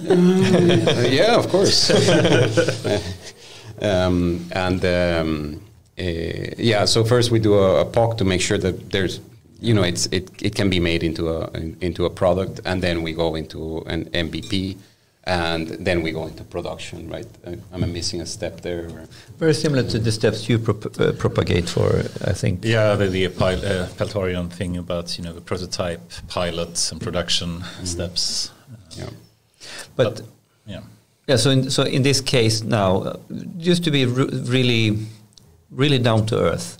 So you use the, the platform as a Mhm. way to basically be able to, you know, use the platform to very easily try the different the libraries or whatever was available in there. Is that how it worked, or Yeah, because I, I was familiar with the platform, and I thought, okay, it will be really fast to to uh, go through some different models and, and see how they work. So yeah, it it was it was a nice solution. We also had an uh, intern who was working with us then, and he tried some uh, some other variations in Keras, but yeah, in in the end, the, the efficient net was more successful. And then, and then when you find that, uh, you know, could you use the Peltarion platform, or do, or do you download that as an open library, or how does it work now? Is this a TensorFlow? So, uh, you know, I'm, I'm asking as as a as a layman who doesn't know how, how it sort of how you go about it, how much you need to think about getting your algorithm working, and how much is basically open source in some ways library you can use. I mean, we could have used an open source library as well. And uh, I mean, now now we are doing everything in in PyTorch also.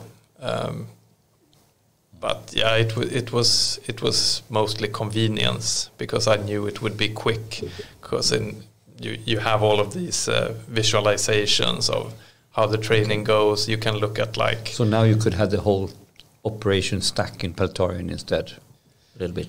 Yeah, and it, it also had this thing where you can see the predictions, like, oh, it got this one wrong, it got this one right. Okay, that's like that's interesting to know. And uh, one one funny thing, by the way, is that uh, you know in the beginning we were just looking at the the images as, as they were. So first we had to use another model, an object detection model, to find these sticks. And for that, I used um, some model from the Detectron 2. It's from Facebook AI research, and, and that worked really well. Like that was, you know, 100 examples, and it, it learned to find those sticks. And then you have these basil plants, and then you have the stick, and you have the QR code. Uh, but then when we were looking at like this was actually something we did sort of outside of the platform, but we tried to look at okay, what is the model looking at in the image? Yeah, exactly. With, uh, with the uh, wolf uh, problem. Yeah, Can can I can I can I take responsibility for that? Uh, yeah. because I think I, I think I was the one that asked you like, are you sure it's it's uh, looking at that and not doing something crazy? And that's that, I think Yeah. that's when you, Yes. I think this is a serious topic, and, and we should actually, I think, speak a bit about this as well. If you take explainable predictions or explainable AI, um, I know you have a big interest and knowledge in, in this, Mikael, as well. Um, and I guess if we start with that, you know, let's start it in this way. So, I think there is a big like discussion about the need and the use for explainable AI. And um, if I take a person that I do respect but still disagree on this point, uh, Yann LeCun, he has famously said, you know, at some panel debate, you know, do you need to have explainable predictions or not? And he said, explainability, schmittability, or something. and says, you know, it's no need to have explainability. It's completely over mm, estimated, or the value of it is, is, is hyped. I, I can't say I, uh, agree with that, but what's your thinking? You know, do you think there is a need to have, you know, well-working, explainable predictions? Uh, yes. no, I can. How could I guess that? Leading question, Anders. No, I, I can um, uh, continue on, on this thing that I was just saying a- as an example. Yes. Because um, so you have this image, right, where you have the basil plants, you have the ruler, you have the QR code, and we had a model that Yeah. was working really well. this is funny. And then when we looked with uh, the GradCam algorithm on what it was looking at, so that it was only analyzing the QR code. so he was cheating. yeah. so it was like Too smart for school, man. yeah. so then it could figure out like, okay, so this is uh, planted, you know, 25 days ago, and then it's probably about this tall. And like, So he, he, he, he went Yeah. reverse engineering on the problem. yeah, but you mean it actually understood the QR code and could from that figure out when it was planted? I mean, I, I don't exactly know, but uh, uh, yeah, the fact is that it, it was only focusing on on this QR code, and somehow that information was enough for it. it's to, a, it's a big stick with Yeah. a with a QR code that encodes the date, right? Yeah. And the stick has the little lines. Yeah. And then they were like, "Whoa! It's it's recognizing the the heights and everything." And I was like, "Are you sure? Can what happens if you blur the the QR code and then the, you know, it didn't work?" Oh, so it was the relationship between the QR code and the height of the plant. Is that what you're saying? No, they was looking at the it was looking at the QR code, right? In in in in- somehow it was making the prediction. It was focusing all its attention on the QR code. So we don't know what it was doing, but it was not looking at the at the ticks on the on the, So on he the was stick. so basically uh, from the training data set. It, it you could the QR code related to when this was planted Yeah. Yeah. was typically uh, the right outcome, uh, the, the right correct answer. Mm. So then he basically focused only on the QR code and you know so predicted that well this last QR code had so many days behind, so that's why it worked. Instead of really looking at the the real true height. but still, how could it figure out from the QR code when it was planted? You know, I- that, that's. what? Yeah, exactly. I mean, you see my frustration here. How do you learn? can it really do that, or can you reason about you know why you thought the attention was so much on the QR code? The QR code is is generated from a string that contains the Date. the date. Is and- it- you, and- you and actually think it things. learned how the QR code was generated? You mean? Is you think the network was that smart? I mean, I, I guess it has figured out some some pattern. The topology that- pattern of the QR code. I don't know. yeah, It sounds uh, long, far-fetched. I would Uh, say. maybe smarter than you think. Yeah. Maybe it's uh, we, I don't know exactly how QR codes work, but it, it, it could be something that it's you know this particular region of the QR code. Uh, But empirical when- evidence, when you blur the QR code, Yeah, I mean the the thing is that it was. Why would the QR code matter when you're trying to figure out you know the, the height of the Couldn't plant? it be that it tries to see the relationship in terms of height compared to the QR code?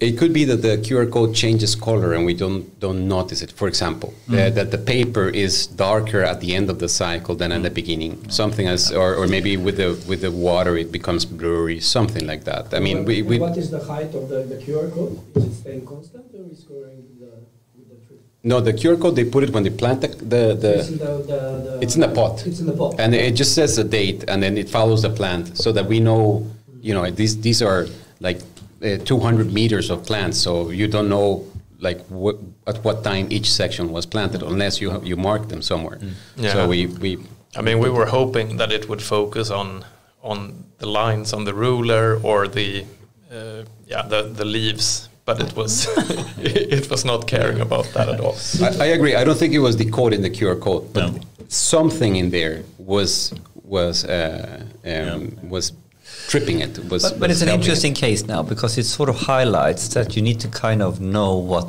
what it's focusing on. Mm.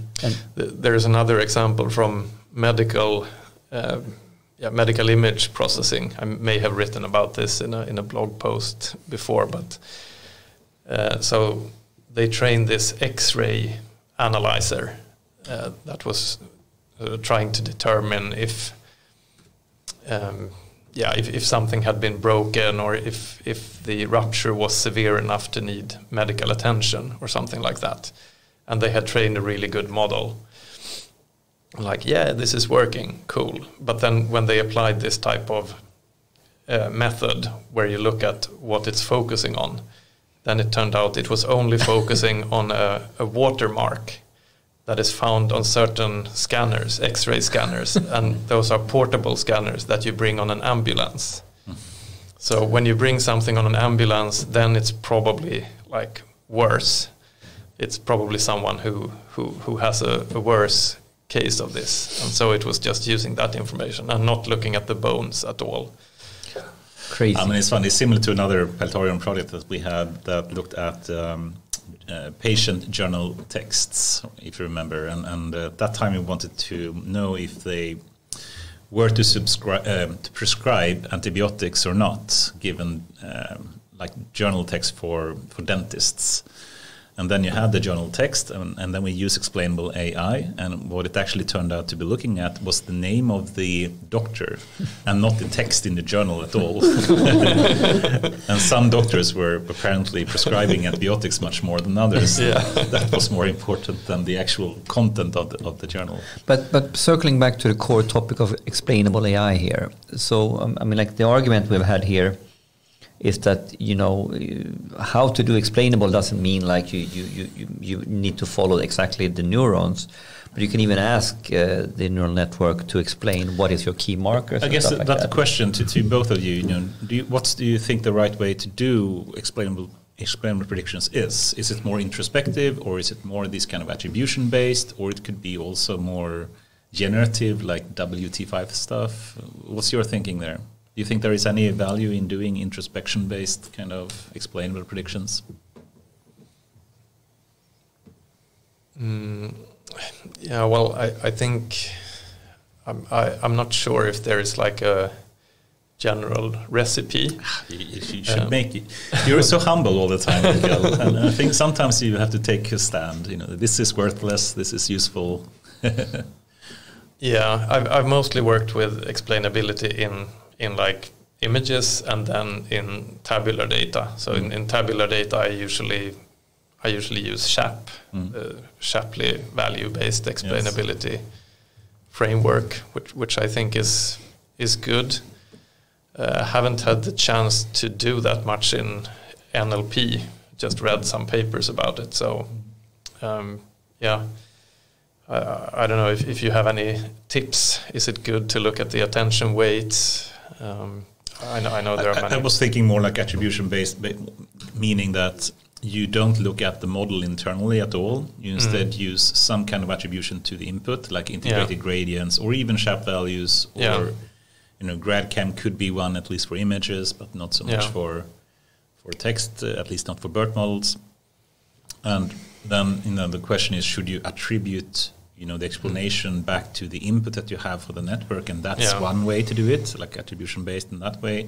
The introspection is more trying to figure out you know what neuron or what which layers in some way that is Yeah. you know causing this type of prediction, or even saying that you know looking at at uh, simplistic like linear regression or something, you can find the coefficients and say here are the coefficients that is you know the main um, cause for, for this prediction, and that would be more of an introspection type of explanation. And if you have any thoughts, you know, what the pros and cons of that type of explanation would be. Yeah, I, I think attribution-based methods are uh, are good if you want to base some kind of decision on it. If you want to, if you want to know, like what what was it that that was responsible for this. There's also another kind of explainability that I, I, I don't know what the like general name for it is, but like when you when you try to figure out sort of the, the smallest change that would change the class Right, of, yeah, of an example right. Or, or something like that. Yeah, that's the name of that. I mean, it's not conf- uh, counterfactual. Yeah, it's counter- yeah, counterfactual. yeah, right? exactly. Counterfactual. I think that is Yeah. quite interesting as well. The i- introspection is is maybe more of sort of theoretical interest, although I think it's very interesting. Like there was this, uh, what was it, this OpenAI blog post where they found that like one neuron was responsible for some very, like, it's interesting, but not very useful, I would say. yeah, yeah, that's But also, I would argue, and, and I'm going to be a bit more provocative here now, but but this is, uh, I think, a very common opinion that you know the the shallow models is is very useful because you can understand them, and, and that's why you should resort to using them instead of using neural networks, and then you can simply look at you know decision trees or you know. Um, or at coefficients or potentially you know even random forests you know have really way nice ways to, to find like the, the most you know important features that you can have like feature important importance metrics. Yeah, but I would argue at least that if you look at the simple like coefficient based super simple kind of introspection or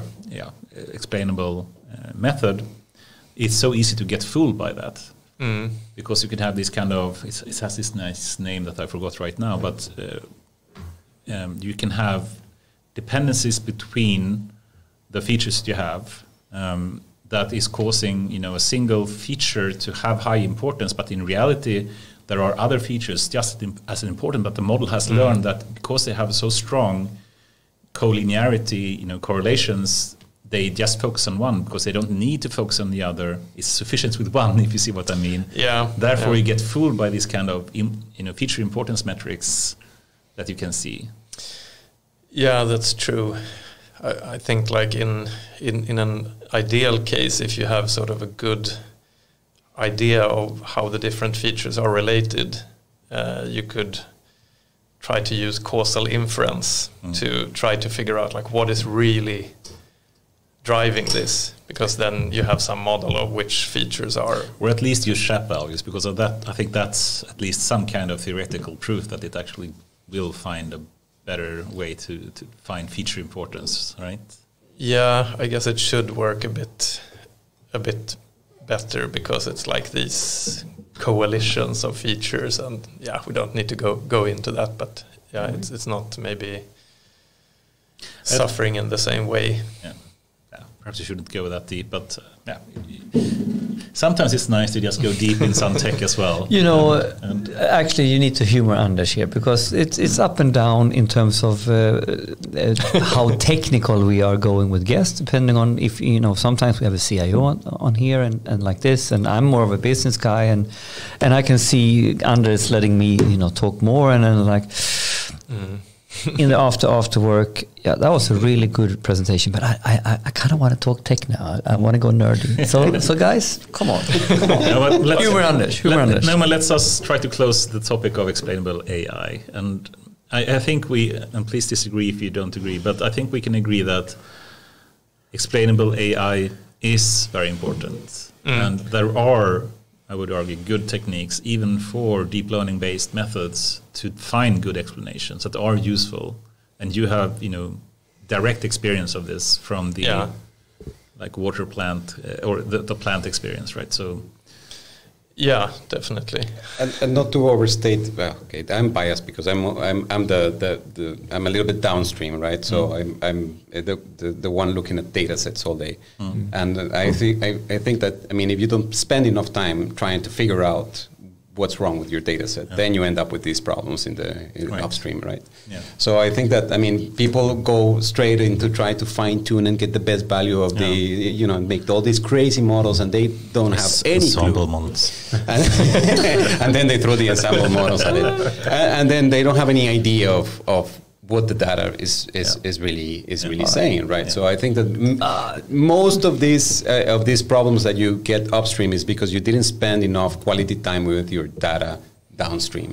I mean, we, we should resort, I think, to, to one of the Andrew Ng kind of. Yeah, and uh, well, let's go. right? Let's let's I mean, move now t- from explainable AI and understand now that Alex made a link from a- explainable AI to data data centric AI and how important it is to start thinking data centric. And then the segue is Andrew Ng, maybe. So, yeah. Do, do you know his? Uh, I guess you read the batch and all the, the newsletters that he have, and what Yeah. Andrew Ng is saying. Yeah. So in short, you know, he's speaking about the model centric versus data centric um, ways of working, I guess, and, and then you can do what what you mentioned, Alex, that you know, trying to find you know whatever kind of improvement in accuracy by tweaking the model and and God forbid for, for, forgive use ensemble models. But in reality, if you don't understand the data properly, you can get fooled by the accuracy you receive if you just tweak the, the model. Would that- yeah. So in, in well, with all this explainable part, uh, so I, I work more at the data level. So what I, what I try to do is torture my data set. Yeah. I mean, I Until it torture my data set I love it. until it confesses. That's called ethical Yeah. data science. So, you uh, How do I torture do your data this? set. I torture my data set. I want to learn I- these methods of I torture. twist it, I rotate it, I, I, I, I add noise, you know, like really, really screw it up. So And this so- is what you learn if you're in bioinformatics. and this is what you learn if you if you ever look at biological uh, data sets that you need you, you need to Love really it. have a lot of variation so that you you you keep the, the, the model on their toes because uh, my view is that uh, AI is lazy. They'll always find the, the most Shortcuts. obvious thing, Shortcuts, right? yeah. The shortcuts, and then those are not what that's not what I want you to look at. I want you to look at that other thing. So I I try to like mix mix up the, uh, the the data as much as possible so that any uh, in a way that artifacts should be eliminated right? And uh, and and then not having to have the problem. And that and and also do proper analysis make sure that you have a good experimental design. But could And- we could we really unpack this and go a bit nerdy for how you torture data? Concretely? I mean, uh, so you have a set of of uh, um, you have a set of of uh, of plants, right? Of Yeah. pictures of plants. Well, you can zoom in and out of, of plants, uh, zoom in and out of, and subsample the, the, the picture in a million different ways. Uh, you can blur the image. You can you can change the colors. I mean, because uh, in, in doing all those things, you know that the, the big patterns are going to stay, but the the the, the Noise. the noise is is going to be blurred away, right? So um, that's like a, a simple example, but also just the the I've I've had uh, success just adding like Gaussian noise to a to a tabular data set. So what you're saying, you're adding noise to data sets in order to, how, how can that help? because if you if you add noise, then uh, it it can't get fixated on the fact that you have like the same value always, like the same set of values. Eh, well, it's it's similar to just uh, um, the what's, what is this the Data augmentation or not the data when you block the layers that you filter the Do you mean dropout? dropout. Yeah. yeah, like dropout, but at the at the data uh, at the At data data level at the data level. So you, you can torture it that way. So, so it, you're doing a lot of different things, and you so basically it, it uh, allows you to, well, you give more noise. So, so, so in the end, sense, the real features and artifacts, the, the, the hypothesis is that they they, are, they will be They will come out. They will come out Yeah. anyway. Yeah, because that will be the only thing that is constant. I think uh, time is flying away here, and I want to really extract, you know, some knowledge from you guys that are experts in also bioinformatics here in some way. Let's go. And and perhaps we can just uh, speak a bit about, you know, some of the core components of bioinformatics, and and we you have mentioned a number of terms here: amino acids, genomes, genes, chromosomes, and whatnot. C- Can we? Can you just try to explain a bit? You know, how do they relate to each other? Just give us like one on one on, you know, what, how are the genome built up in some way? Is that the? Do you see what? How I the genome built up? Um, well, I mean, you have to ask not how the, the genome is built up, but maybe how how do you be, how do you go from a set of instructions to a human being? mean? Mm, Okay, yeah, let's go there. Because the the genome is just a sequence, a very long sequence of, of four letters. Yeah. Uh, but the, the, the interesting part it comes in in how do you interpret that to create this huge diversity, right? From the if you have a, the same software program, you run it 500 times, it's always going to get the same result. But here you But get yet the foot and an eye. And the, here you get a foot and an eye out of the exactly. I mean, you have exactly the same genome in your eye and your foot. I mean, there's there's very very very loss, uh, very very little loss there. Okay, so so that's another like area on top of the genome, but still, you know, the genome itself contains a number of things, and and, and you have proteins there as well, and and you know, yeah, well, may, maybe we can uh, zoom out a bit. Like, uh, so bioinformatics is the you know, science or, or technique to use statistics, data analysis, and programming on biology, usually molecular biology. So all of these things that you mentioned are molecular biology. And uh, there is the central dogma that states that you have DNA, which is like the fixed template, and then that gets transcribed to a like transient message that is called RNA, RNA. and then that gets uh, translated into the protein, which is yeah, like the building blocks. You have it in, in your your hair, have it, in, yeah, your skin, everything, but also like hor yeah hormones and you know uh, e- everything, not everything, but a lot of things that are happening in the body. So there are different levels, and uh, proteins are made of amino acids. Mm. There are sequences of amino acids. So that's the amino acid, and both DNA and RNA are made of uh, nucleotides. These four four letters, ACGT. In RNA, it's ACGU, but okay, it's a Yeah. detail. I mean, I think that's that's great. I mean, you try to provide some kind of hierarchy or ter- uh, Yeah. some kind of uh, terminology. Of, And, and we, you know, we, what we, this we, we, means. we've been trying to learn and get educated on this topic before, the Vironova guys. Oh, Do you know CEO Vironova, Muhammad? Uh, Do you know- I know of them, but but I don't.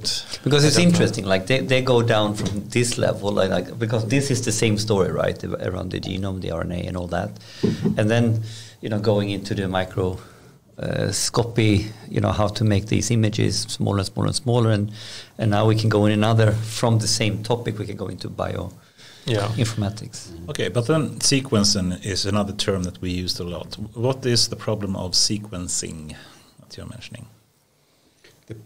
The, the problem of sequencing. What what is the like the like the industry of sequencing? Yeah, sure. So uh, sequencing basically you have a you have a human genome. That's uh, what is it? Three three gigabases, right? Yeah. Uh, three gigabases, so three uh, three thousand million bases. Yeah.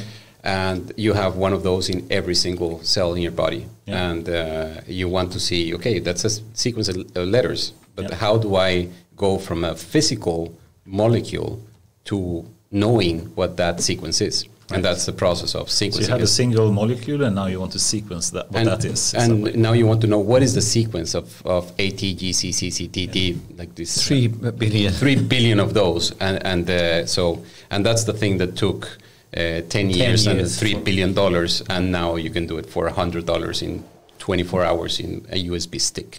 So um, yeah, And how does it really work?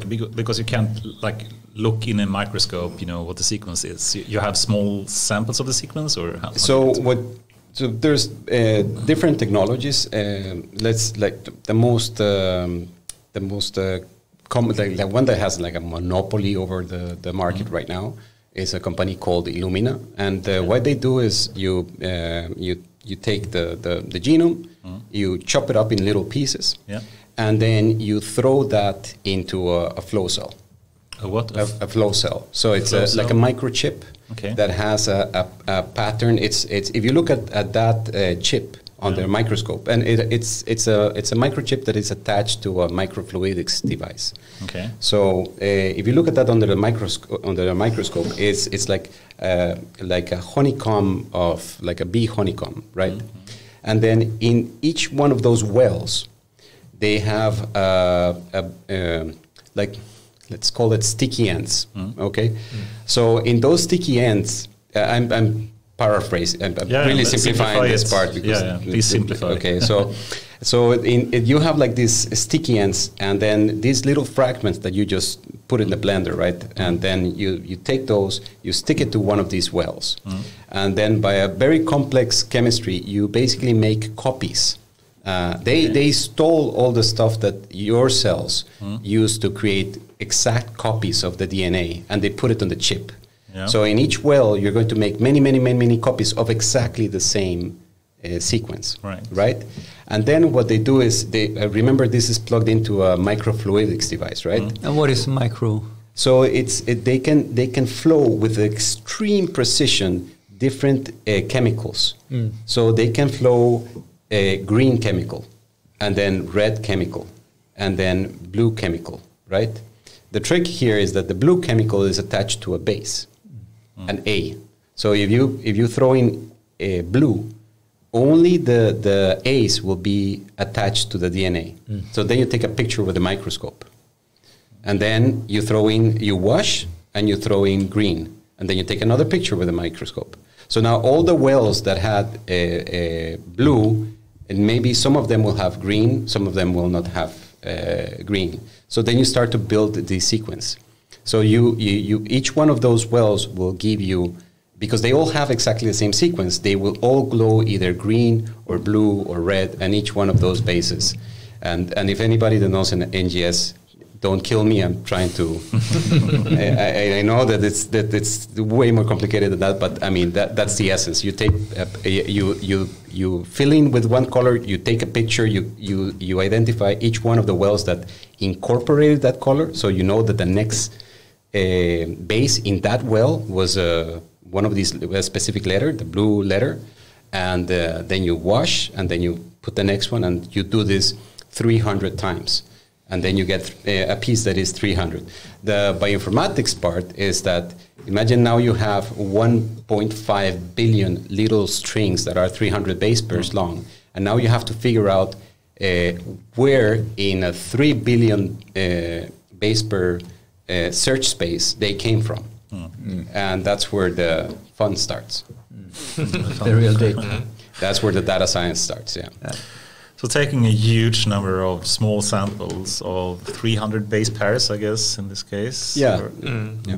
And then trying to fit them together. So I guess they're overlapping as well. So you need to find where the the start and the end of each of them are in some way, or It, it, it can be like that, but, Mm-hmm. but for the human genome, we have like a reference that you can compare Oh, each. yeah, yeah, of course. You each compare piece it to to. the reference Yeah. genome. Uh, so you, you take these 300 base pairs and you search over these 3 billion base pairs. And then you take the next one and then you search over those 3 billion base pairs. Ah, of course. One that at a makes time. perfect sense. Now I get so much smarter, or not not smarter, but knowledgeable. Yeah, but but like for for new things like SARS-CoV-2 virus, you where you don't have a reference, you know, then then, then you do what you Yeah. said, you Yeah, okay. piece them together. So cool. That's a very interesting. Um, But but uh, then the fun starts. Yeah. Let's go. so what what you know if if you try to dumb it down for me like n- now we are out of the wet lab so to speak and now we're getting into the data Mm-hmm. the data part. Yeah. Yeah. So then, for example, I mean, um, so what I what I work with, uh, like my main customer is uh, they make cancer vaccines. So I I figure out uh, uh, I sequence your well, okay, let's that other uh, this uh, person uh, uh, genome, Yeah. and then I, I, I sequence their tumor because they have cancer, right? So when you line up all these reads against the human genome, then in in uh, in um, in cancer, sometimes you will have differences. So you'll see uh, sequences in the tumor that you don't have in the normal uh, in, in the normal sample. and this right? is mutations These are mutations. And uh, like Mikael was saying, these mutations get translated into tRNA, and then uh, they get translated into um, in, into protein. And these these proteins they look weird to the immune system. The immune system has never seen one of these, so they will attack it. In in some tumors, they they they can't really recognize it. They have troubles finding these differences. So what this company does is that they, uh, amp- uh, they, they amplify these differences. So they, they sequence the normal, they sequence the tumor, they find out all the differences, and then what we do is we use AI to help them identify what, what are the best candidates to teach the immune system how to fight off that, that cancer. And then they build a, a, personalized vaccine for that, uh, so that uh, it's um, so basically you're, you're, you're vaccinating yourself against your own tumor so that if the tumor ever comes up again your immune system will just pick up and kill it just like you do with the normal flu so uh, that's that's the fun part and and and used to be uh, trying to be a little bit concrete data wise because I think let's go nerdy here. What, what is the fundamental data manipulation problems we are working on here, like from a from a data pipeline point of view to you know. So first, you you you have to go from uh, 300 gigabytes, 300 uh, gigabytes of data, to maybe six values, six positions in your. So it's a data reduction. You have this huge search space, and you have to find the six places in the genome that you can design your vaccine for. Right. So that's it's just a reduction, reduction, reduction, reduction, and trying to figure out what is going to actually cure the patient. So that's the that, that's the data. But I mean, it's it's a lot of uh, the mapping, which is the first stage. Then you have to do like a comparison, and this is this is like I said, it's very uh, noisy data set. So you have a lot of artifacts that you have to weed away because that's not going to help anybody. And so it's the the distillation process of going from this huge amount of data to the the one that is going to make a difference. Yeah. The data from the sequencer also has errors, like uh, can be a couple of percent that are wrong. So you have to kind of try to wash that out somehow, stuff like that. I mean, awesome. and, and unfortunately, the time is flying away here a bit, but I'd like to cover at least um, one more uh, bioinformatics topic, which which is um, AlphaFold and what DeepMind Oh, did, yes. right? Yeah. And we also have Alpha AlphaFold 2, I guess, that also mm-hmm. you know broke the record in, in, in various ways. But perhaps we can start just you know what is AlphaFold, and we've spoken a bit about the 3D structure already. But mm-hmm. um, how can we concisely and and, and s- in a simple way describe what AlphaFold does? Mm-hmm.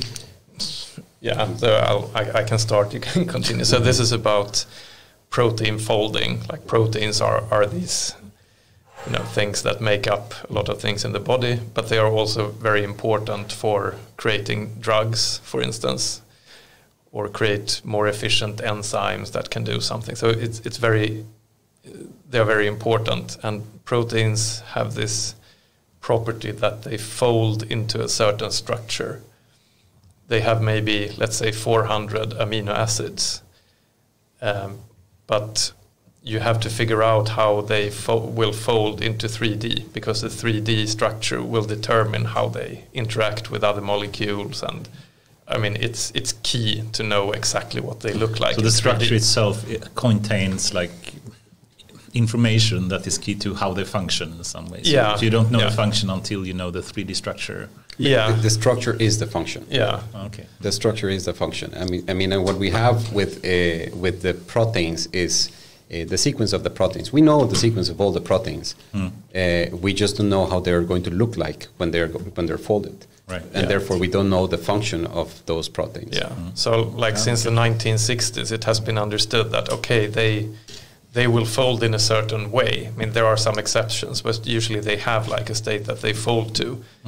But someone calculated that if you had a protein with 100 amino acids and it just randomly explored the space, just changing the different amino acids, it would take 10 to the power of 52 years to explore all of the conformations. So it can't be just a random thing. It it yeah, it, it happens in a structured way. And then, yeah, to make a long story short, it, there have been people have been trying to solve this problem since the 1970s. Mm. Like how how do they fold? And they used molecular dynamics, like trying to use physics to figure out, but it doesn't really work for more than 50, 70, 80 uh, amino acids.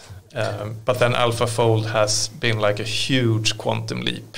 In, Yeah. um, And quantum, not in a small sense, but a big quantum leap. yeah, yeah, yeah, yeah. So it's it's much better than the ones. There is some kind of that came before. challenge, right, that AlphaFold competed in. Uh, Yeah, CASP. yeah, the CASP, CASP challenge, the critical assessment of protein structure prediction or something. Yeah, it has been around since the 90s, so you can tell that it's a very well-known problem that people have been trying to solve. Yeah. And they had previous results. I don't remember the name of the metric there that they had, but but they, it was something around 30 or 40 of a scale up to 100 or something, right? That they, the previous approaches, non-deep learning based approaches, were able to reach. And I Yeah, think, uh, yeah. Yeah, I, I don't, I don't remember. And I think the, the, the AlphaFold 1 got up to 50 plus or something, and then the AlphaFold 2 got up to 85 or something, like It got, to, it got to a level where, I mean, again, biology, Yeah. one plus one equals two, Yeah. sometimes four, you know. So it's, we got to the level where we really don't know if, if they can go any higher because the things that we're measuring against is also not perfect. I mean, right. It has yeah. randomized or a lot I mean, of noise in it. you're, you're, there's some noise that you're going to expect. So we, we don't know if we can get any higher. So Didn't they say basically that you know, given AlphaFold two, the, the problem of uh, folding is solved in some way? pretty much, yeah. and that's a big thing. Why is that a big thing? That you know, folding proteins is, is potentially solved now. Yeah, maybe, maybe solved is a is a bit of an overstatement, but but it's it's very good. Yeah, but it's for drug design, for instance. It's, it's very very useful for pharma companies to to know like yeah this is the shape. Then we can fit. I mean, usually these drugs and and their targets are like a lock and key. You have to fit like a, a lock to a key, and of course it's But I mean, think mm. of, of, of think of the you have a, a machine in every cell in your body that can generate an infinite amount of possibilities, mm. and you and I can send an email to a company today, and get that protein tomorrow. And, and put it into a bacteria. So it- the, the, if, if you think of the process of, of developing drugs, right, mm. it's a 10 year process. Mm. And you need to manufacture these small chemicals, and, and it takes years to, to do that if if I, if I can put into AlphaFold the sequence and they, then they will tell me it will fold like this and therefore it will have this effect, you can basically make uh, a, a million different drugs in a week. I see. I mean, that makes a lot of sense. So basically, if you just, you know, given the sequence, you will know the 3D structure, Yeah. and in that way, you know the function of the drug, and in that way, you can. And and if you know the, the, the, the shape of the of the proteins in, in the body, then mm. you can try to approximate how they're going to interact. That part is ah. still it's still mm. uh, a bigger problem, right? Okay. The interaction between those two things, but it, it took us like one step much closer to that. But I but- see. but not only- So given, given that you know the protein you want to treat in some way in the body, and you know the structure of that, then you can try to design drugs given the sequence, and then you know the structure of that that should match. Yeah, I mean, and this is one application, but I mean, it has applications in in in uh, uh, in uh, agriculture, in chemical engineering, in, in in production, in manufacturing. I mean, cells can produce an infinite amount of uh, chemicals or of, of, of, of building blocks that you can use to make plastics, to make enzymes, to make whatever you want. But we need to understand the shape before we can design this, these machines. But- but- maybe, uh, sorry, Please, no, maybe please. another perspective is that I mean, these companies and researchers want to determine these structures, but so far they have had to use X-ray crystallography, Yeah. And that takes time and it's expensive and so on. So if you could just get it as a prediction from a model, that's like I mean, takes time is an understatement. It takes years, and, and it's a grotesque, horrible. Uh, I mean, but it was the same thing with sequencing. Like when I started my my my uh, my um, uh, uh, masters, my teacher said like, okay, that thing that you can sequence in a day, it took me my entire PhD like Yeah. four years Yeah. to yeah, of working like a maniac to arrive to one single viral genome, and now you can do it in a USB stick for fifty dollars. You know, so I mean, it really makes sense what is bitter. said. the Moore's law, uh, but in bioinformatics you have the exponential of Moore's law, Yeah. more or less. Both the sequencing part has it reduced, you know, s- to to a minuscule of the original time, Mm. but so has the folding. Then I guess of that as well. so now the folding has taken a, a, a huge leap But, forward. but, but let, let, let's let's take a, a, a business or macro perspective of what we are talking about here and, and and how the impact AI can have uh, on society. And I think this is still, if you're not deep into these topics and if you're not truly understanding how huge this example is, right? So here we are talking about we're having we have not incrementally improved the process. No, no, we have completely reinvented it and thousand x its efficiency. yeah, And and and here we have done it in a very very low uh, application. You know, very down into a, a use case that you now can apply. So you can have, you have thousand x efficiency around protein and uh, and folding that we now can take into many different industries and different types of problems theoretically. Yeah. So, so AI now has is this general purpose tech, and when we are starting to really understand how deep it can really reinvent the process, I, I, think there are still many people who are sort of stuck in you know working in normal businesses and you know doing AI, no BI and reporting and a little bit of analytics, and still having a hard time connecting with the, with this potential. And I think these kind of examples shows that you know there will be more examples like this, and more and more and more if I if I extend this over the next ten years. You know, when I tell uh, customers, when I approach them uh, with both things like BERT and uh, GPT-3, well, not GPT-3, but GPT-2 and uh, and uh, the other the other things that, that you can uh, use for free is, you know, there's there's this crazy company that invested millions and millions and millions of dollars to create this ridiculously good uh, tool, and they gave it for free and you have to, to invest zero dollars to use it. You can just download, click and download, and that can can throw your business forward 10x. And if you don't want to use it, your competition is. So, what's it going to be? Costa Rica negotiations style. Sign here. no, but, but, but that, do they get it? I mean, like, do we get it? I mean, like, I, it's I'm so working. crazy that it, it because I mean, why would a company give for free something that is so expensive and so valuable? Why did DeepMind give this for free? Uh, you know, why did Google gi- uh, uh, uh, give these things for free? uh, Fair, Facebook, yeah. everybody. Why are they throwing away these things uh, uh, to, to when they could charge? I mean, remember the IBM. The IBM model is they build like uh, a really really fancy technology and charge a lot of money to use it. I mean, that makes perfect sense to me. These guys are just giving these things for free. I- I- So now we are that referring to the whole open source topic and how, how we really build AI models now Exactly. with, with, with our Well, but open source, open source open source is made by a bunch of people, not by a company. Yeah, yeah, right? that's true, but that's this is a company that spent, that spent billions of dollars in developing these things and then just give it away.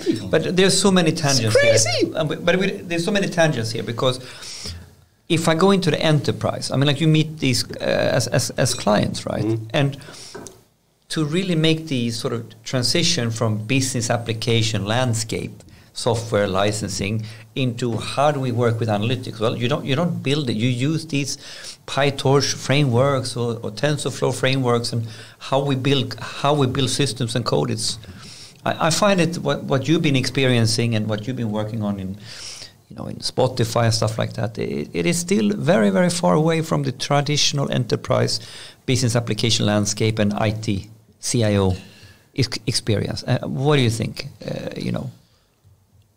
I think it just moves too fast now. Yeah, it's- it's- yeah, and I, I think it's also like you alluded to earlier. It's, it's often a data problem. Like they don't really have the Yeah. means to get all of their data out. It's like mm, in different places, and Yeah. there's one database here and one Excel sheet here, and, so on. But it's exciting to see simply that AI can help with problems that traditionally you thought you had to have like a lot of manual, you know, hardcore scientists to solve, and suddenly you can take like a data approach to solve something in a different way.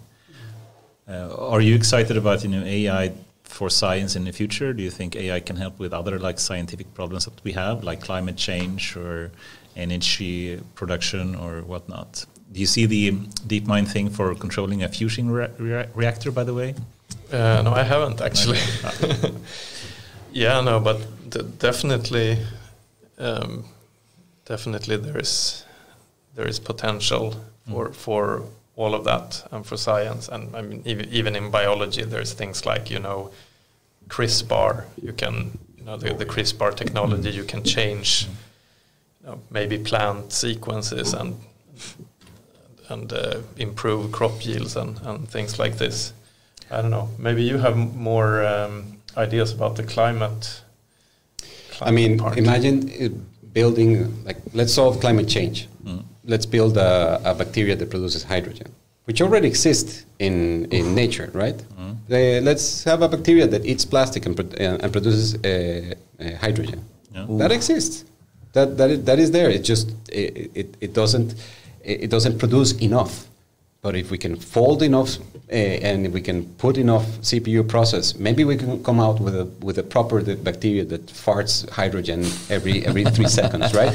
Instead then, of cows instead farting of methane, methane. right? But I mean that's what. But there's, it's crazy what life can do. Yeah. And now we have the, the code. We used to have the code, but now we know how that code is going to look like once it comes out of the business end.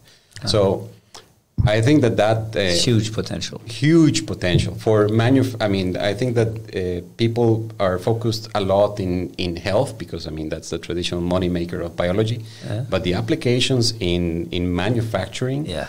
uh, and new materials. I mean, some of the strongest uh, materials known to man are made by bacteria and and animals, right? But is so there a combination of biology and AI together here? Because is, is this data dimension in this that is also needed now in order to design this? Or? Uh, because I see that as part of it that's truly accelerating this now because we have, we've been experimenting with all this, but now when we can do like the, the sequencing of protein and, and all this stuff, mm. so the data part together with how we want to use biology, uh, isn't, isn't I mean, that very exciting? It's very exciting, but I mean, none of this would matter if you didn't have. Uh, it's it's a it's a trifecta, okay. right? It's we now now have limitless computing. Compute. I mean, compute, compute yeah. limitless cloud computing. That I cannot understress. Like nothing that we're talking about here works if, if you, don't, don't have, have GPUs, right? And so so first you need okay, we need to get rid of all the Bitcoin miners that are taking over the, our GPUs. For God's sake, stop doing that. But I mean, if we can put those billions of dollars in GPUs to proper use, we could maybe end climate change because now we have we have the sequence, we have the folding, and we have the AI to put all all this together. So yeah, I mean, that's such an awesome thought. Let's move now, you know, given the, the time as well, to, to some more societal, philosophical kind of topics, I, I would argue. And But still, let's try to keep a bit into the bio, bio, biological kind of, kind of topic. So uh, how about this question? Um, how would you compare, or what are the main differences between an artificial neural network and a biological neural network? And Mm. I would let you to, to think a bit about that, and I can start a bit by giving a couple of my own like thinkings here, and mm. then you, as experts of the bio, biology Shooting area, can can disagree or you know add to that. But obviously, one of obvious difference is uh, generality, and and you know, deep neural networks today is very narrow, and they can you know work on on very narrow specific tasks, but it's getting better and getting more and more multitask kind of models, uh, including GPT-3 and, and, whatnot.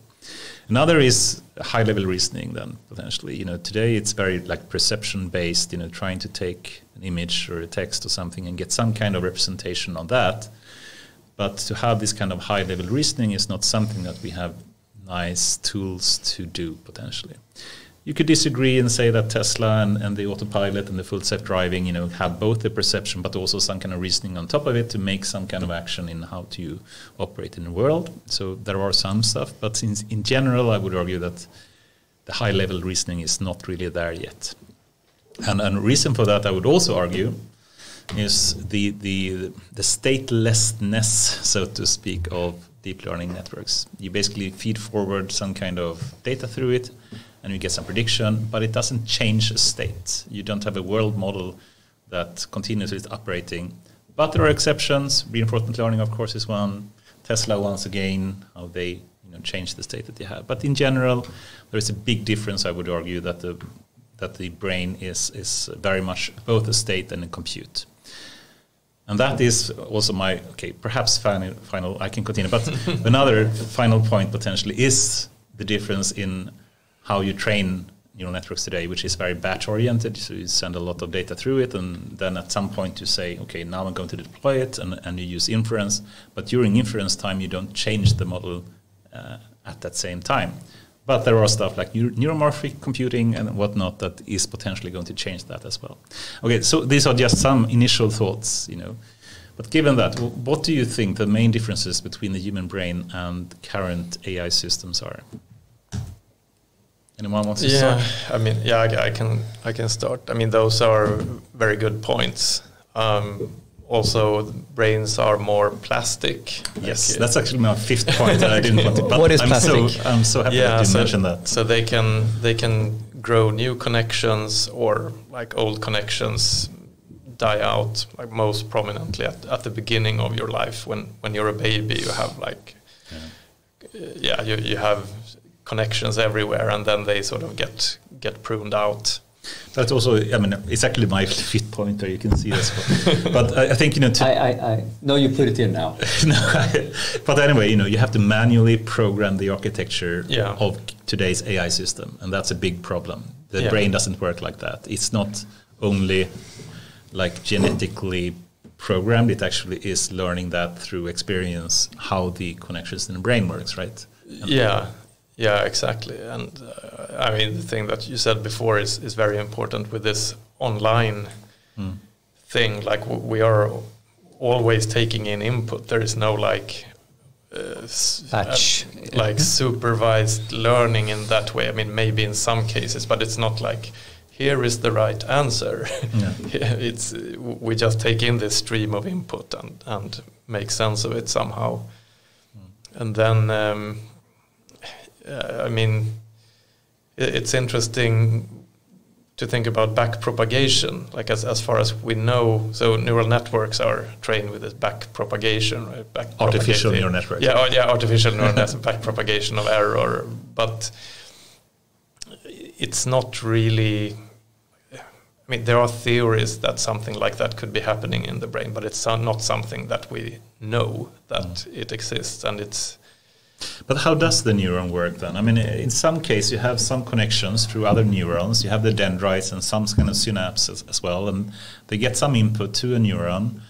And, and when that input goes above a certain threshold, some kind of action potential is happening, right? Yeah. And that can cause the change of a state of the neuron in some way. Or, or how would you describe how a biological neuron works?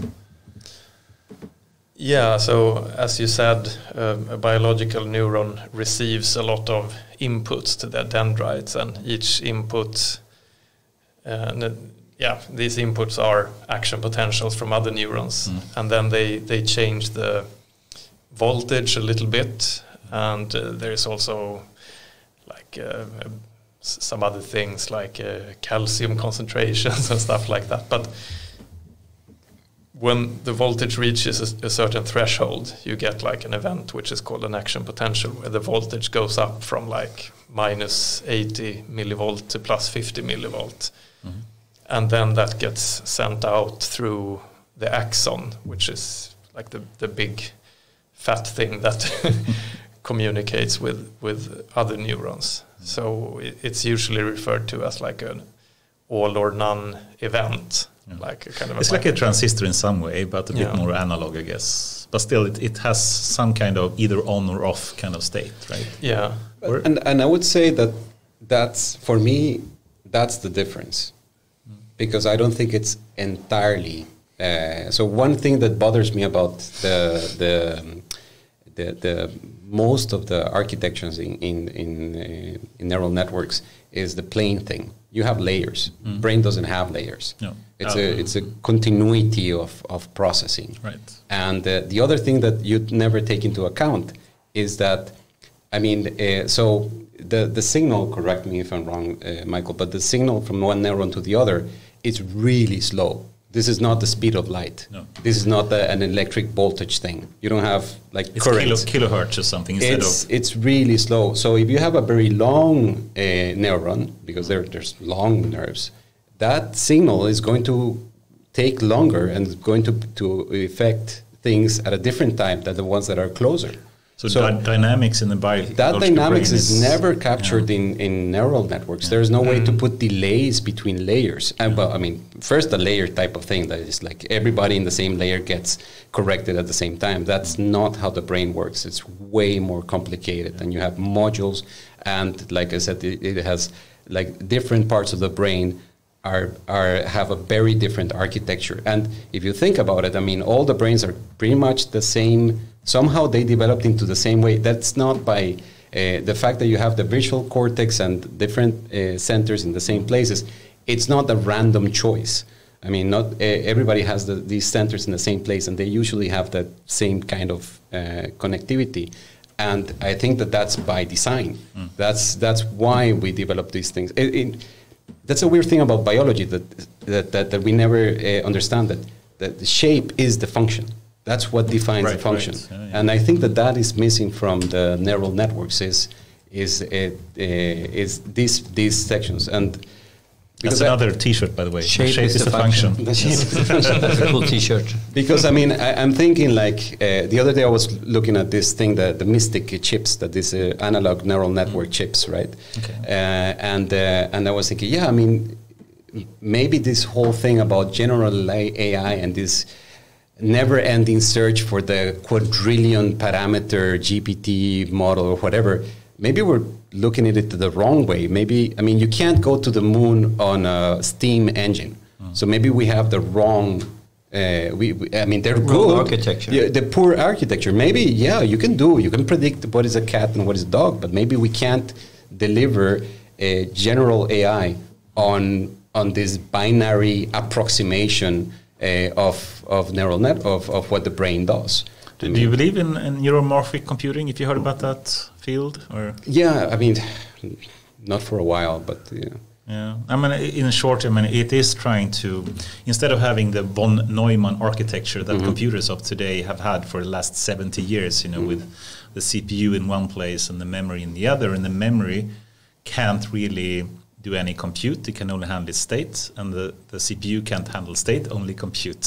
And then you have to transfer the data back and forth all the time to do both compute and, and memory. Um, but the neuromorphic i- is really trying to do what the brain is doing. You have uh, in a single neuron, so to speak, both the compute and the state. And perhaps that's one move forward. It's called memristors. This kind of you know. Didn't IBM were trying to create artificial neurons Yeah, I think in a so. chip, like yeah. neurons in a chip? I wonder what that. Yeah, would, um, IBM research. because these these Mythic guys they were doing the, the these chips that uh, that were analog compu- I mean it's analog computing. Yeah, yeah. So I mean, I think neuromorphic is a bit analog as well. Mhm. So. Anyway, um, let's try to have okay. One final question then. Um, when sorry for this question, you know it's, what's going to be. When do we have AGI? how do we know? How do you know we don't have it now? ah, what is AGI? what do you think is making all the anti-vaxxers? That's it. that's a good one. Uh, but okay, do you believe in you know Kurzweil says like in, uh, in 2029 he believes that will be a point. Others say like uh, Michio Kaku says like 100 years from now. A lot of people in the middle. Um, do you have any sense you know of, of the time scale? The 10 years, 100 similarity. years? And not 2029. Uh, I don't think. But when? but I think it also go back, goes back to the definition of AGI then, because I, I, I asked someone asked me that question and defining the singularity, and there are some sharp definitions of it, but I, I have a hard time understanding it. So I think even when I'm talking to you, we say, "I human-like intelligence." I oh, hate that. Oh, don't hate say that. that. Don't say that. I said. That. no, no, no. I was like, someone said that. Ah, come, come, ah, then you get the second rant from. Uh, But I mean, if, there's so many levels before AGI that we have to survive. yeah. I mean, Yes. we, we, we need to survive the the uh, the uh, the robot that can fold, that can, that can make a T-shirt.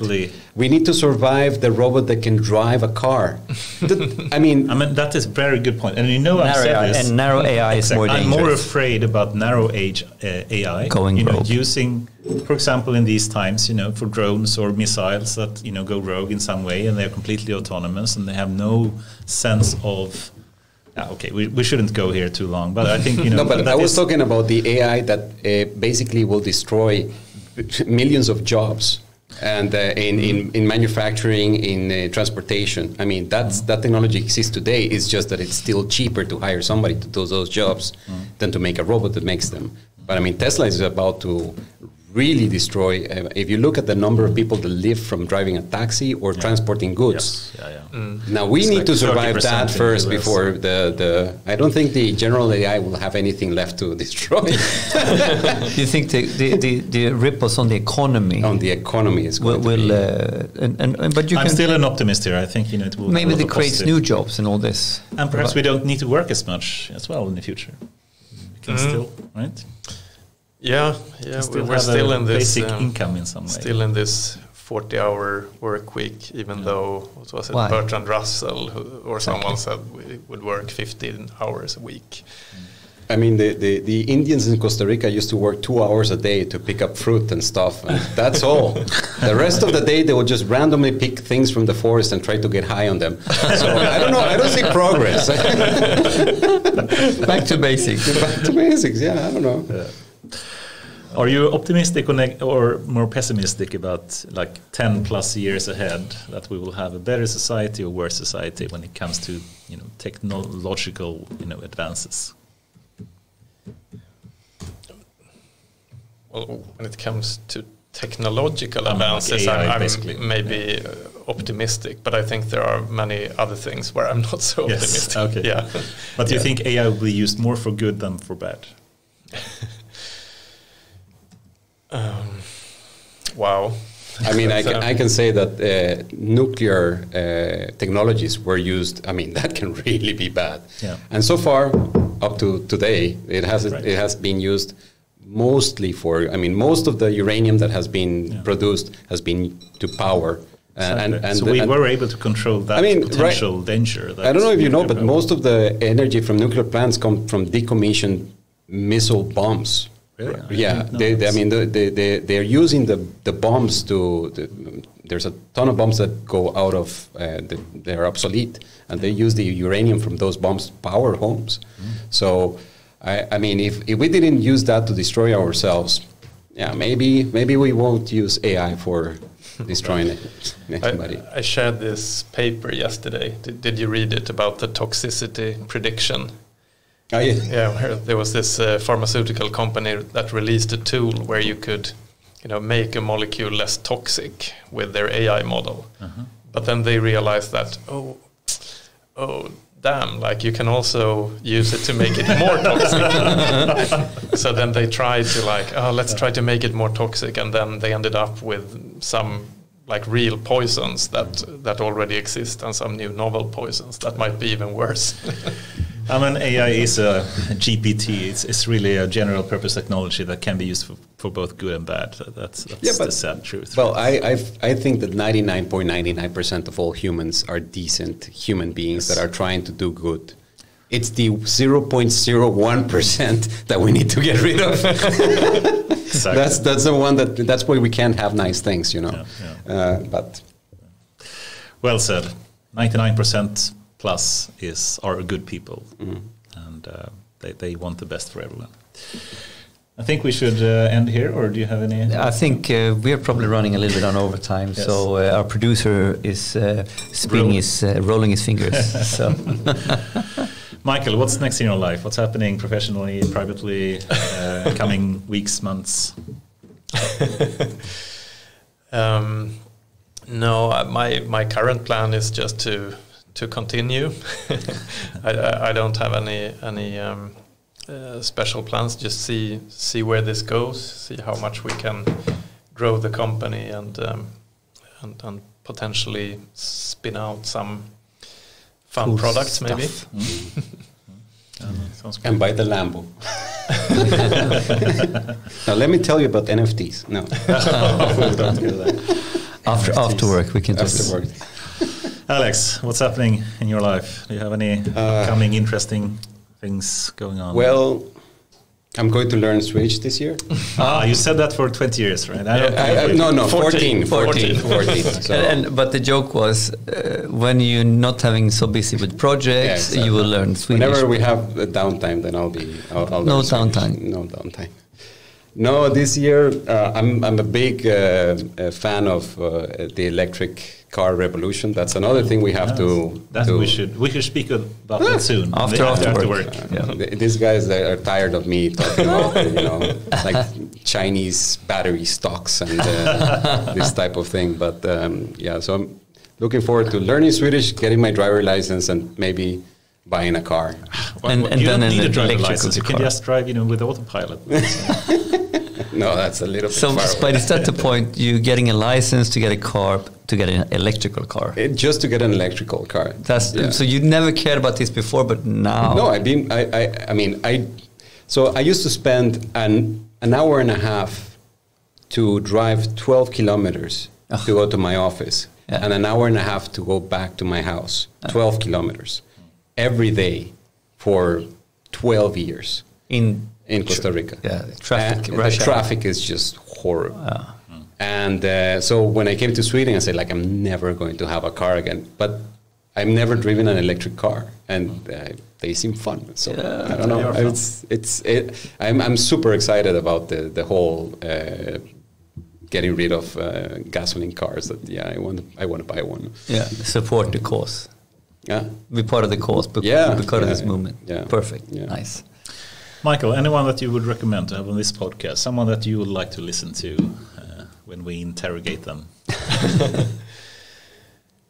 Yeah, I, I have a couple.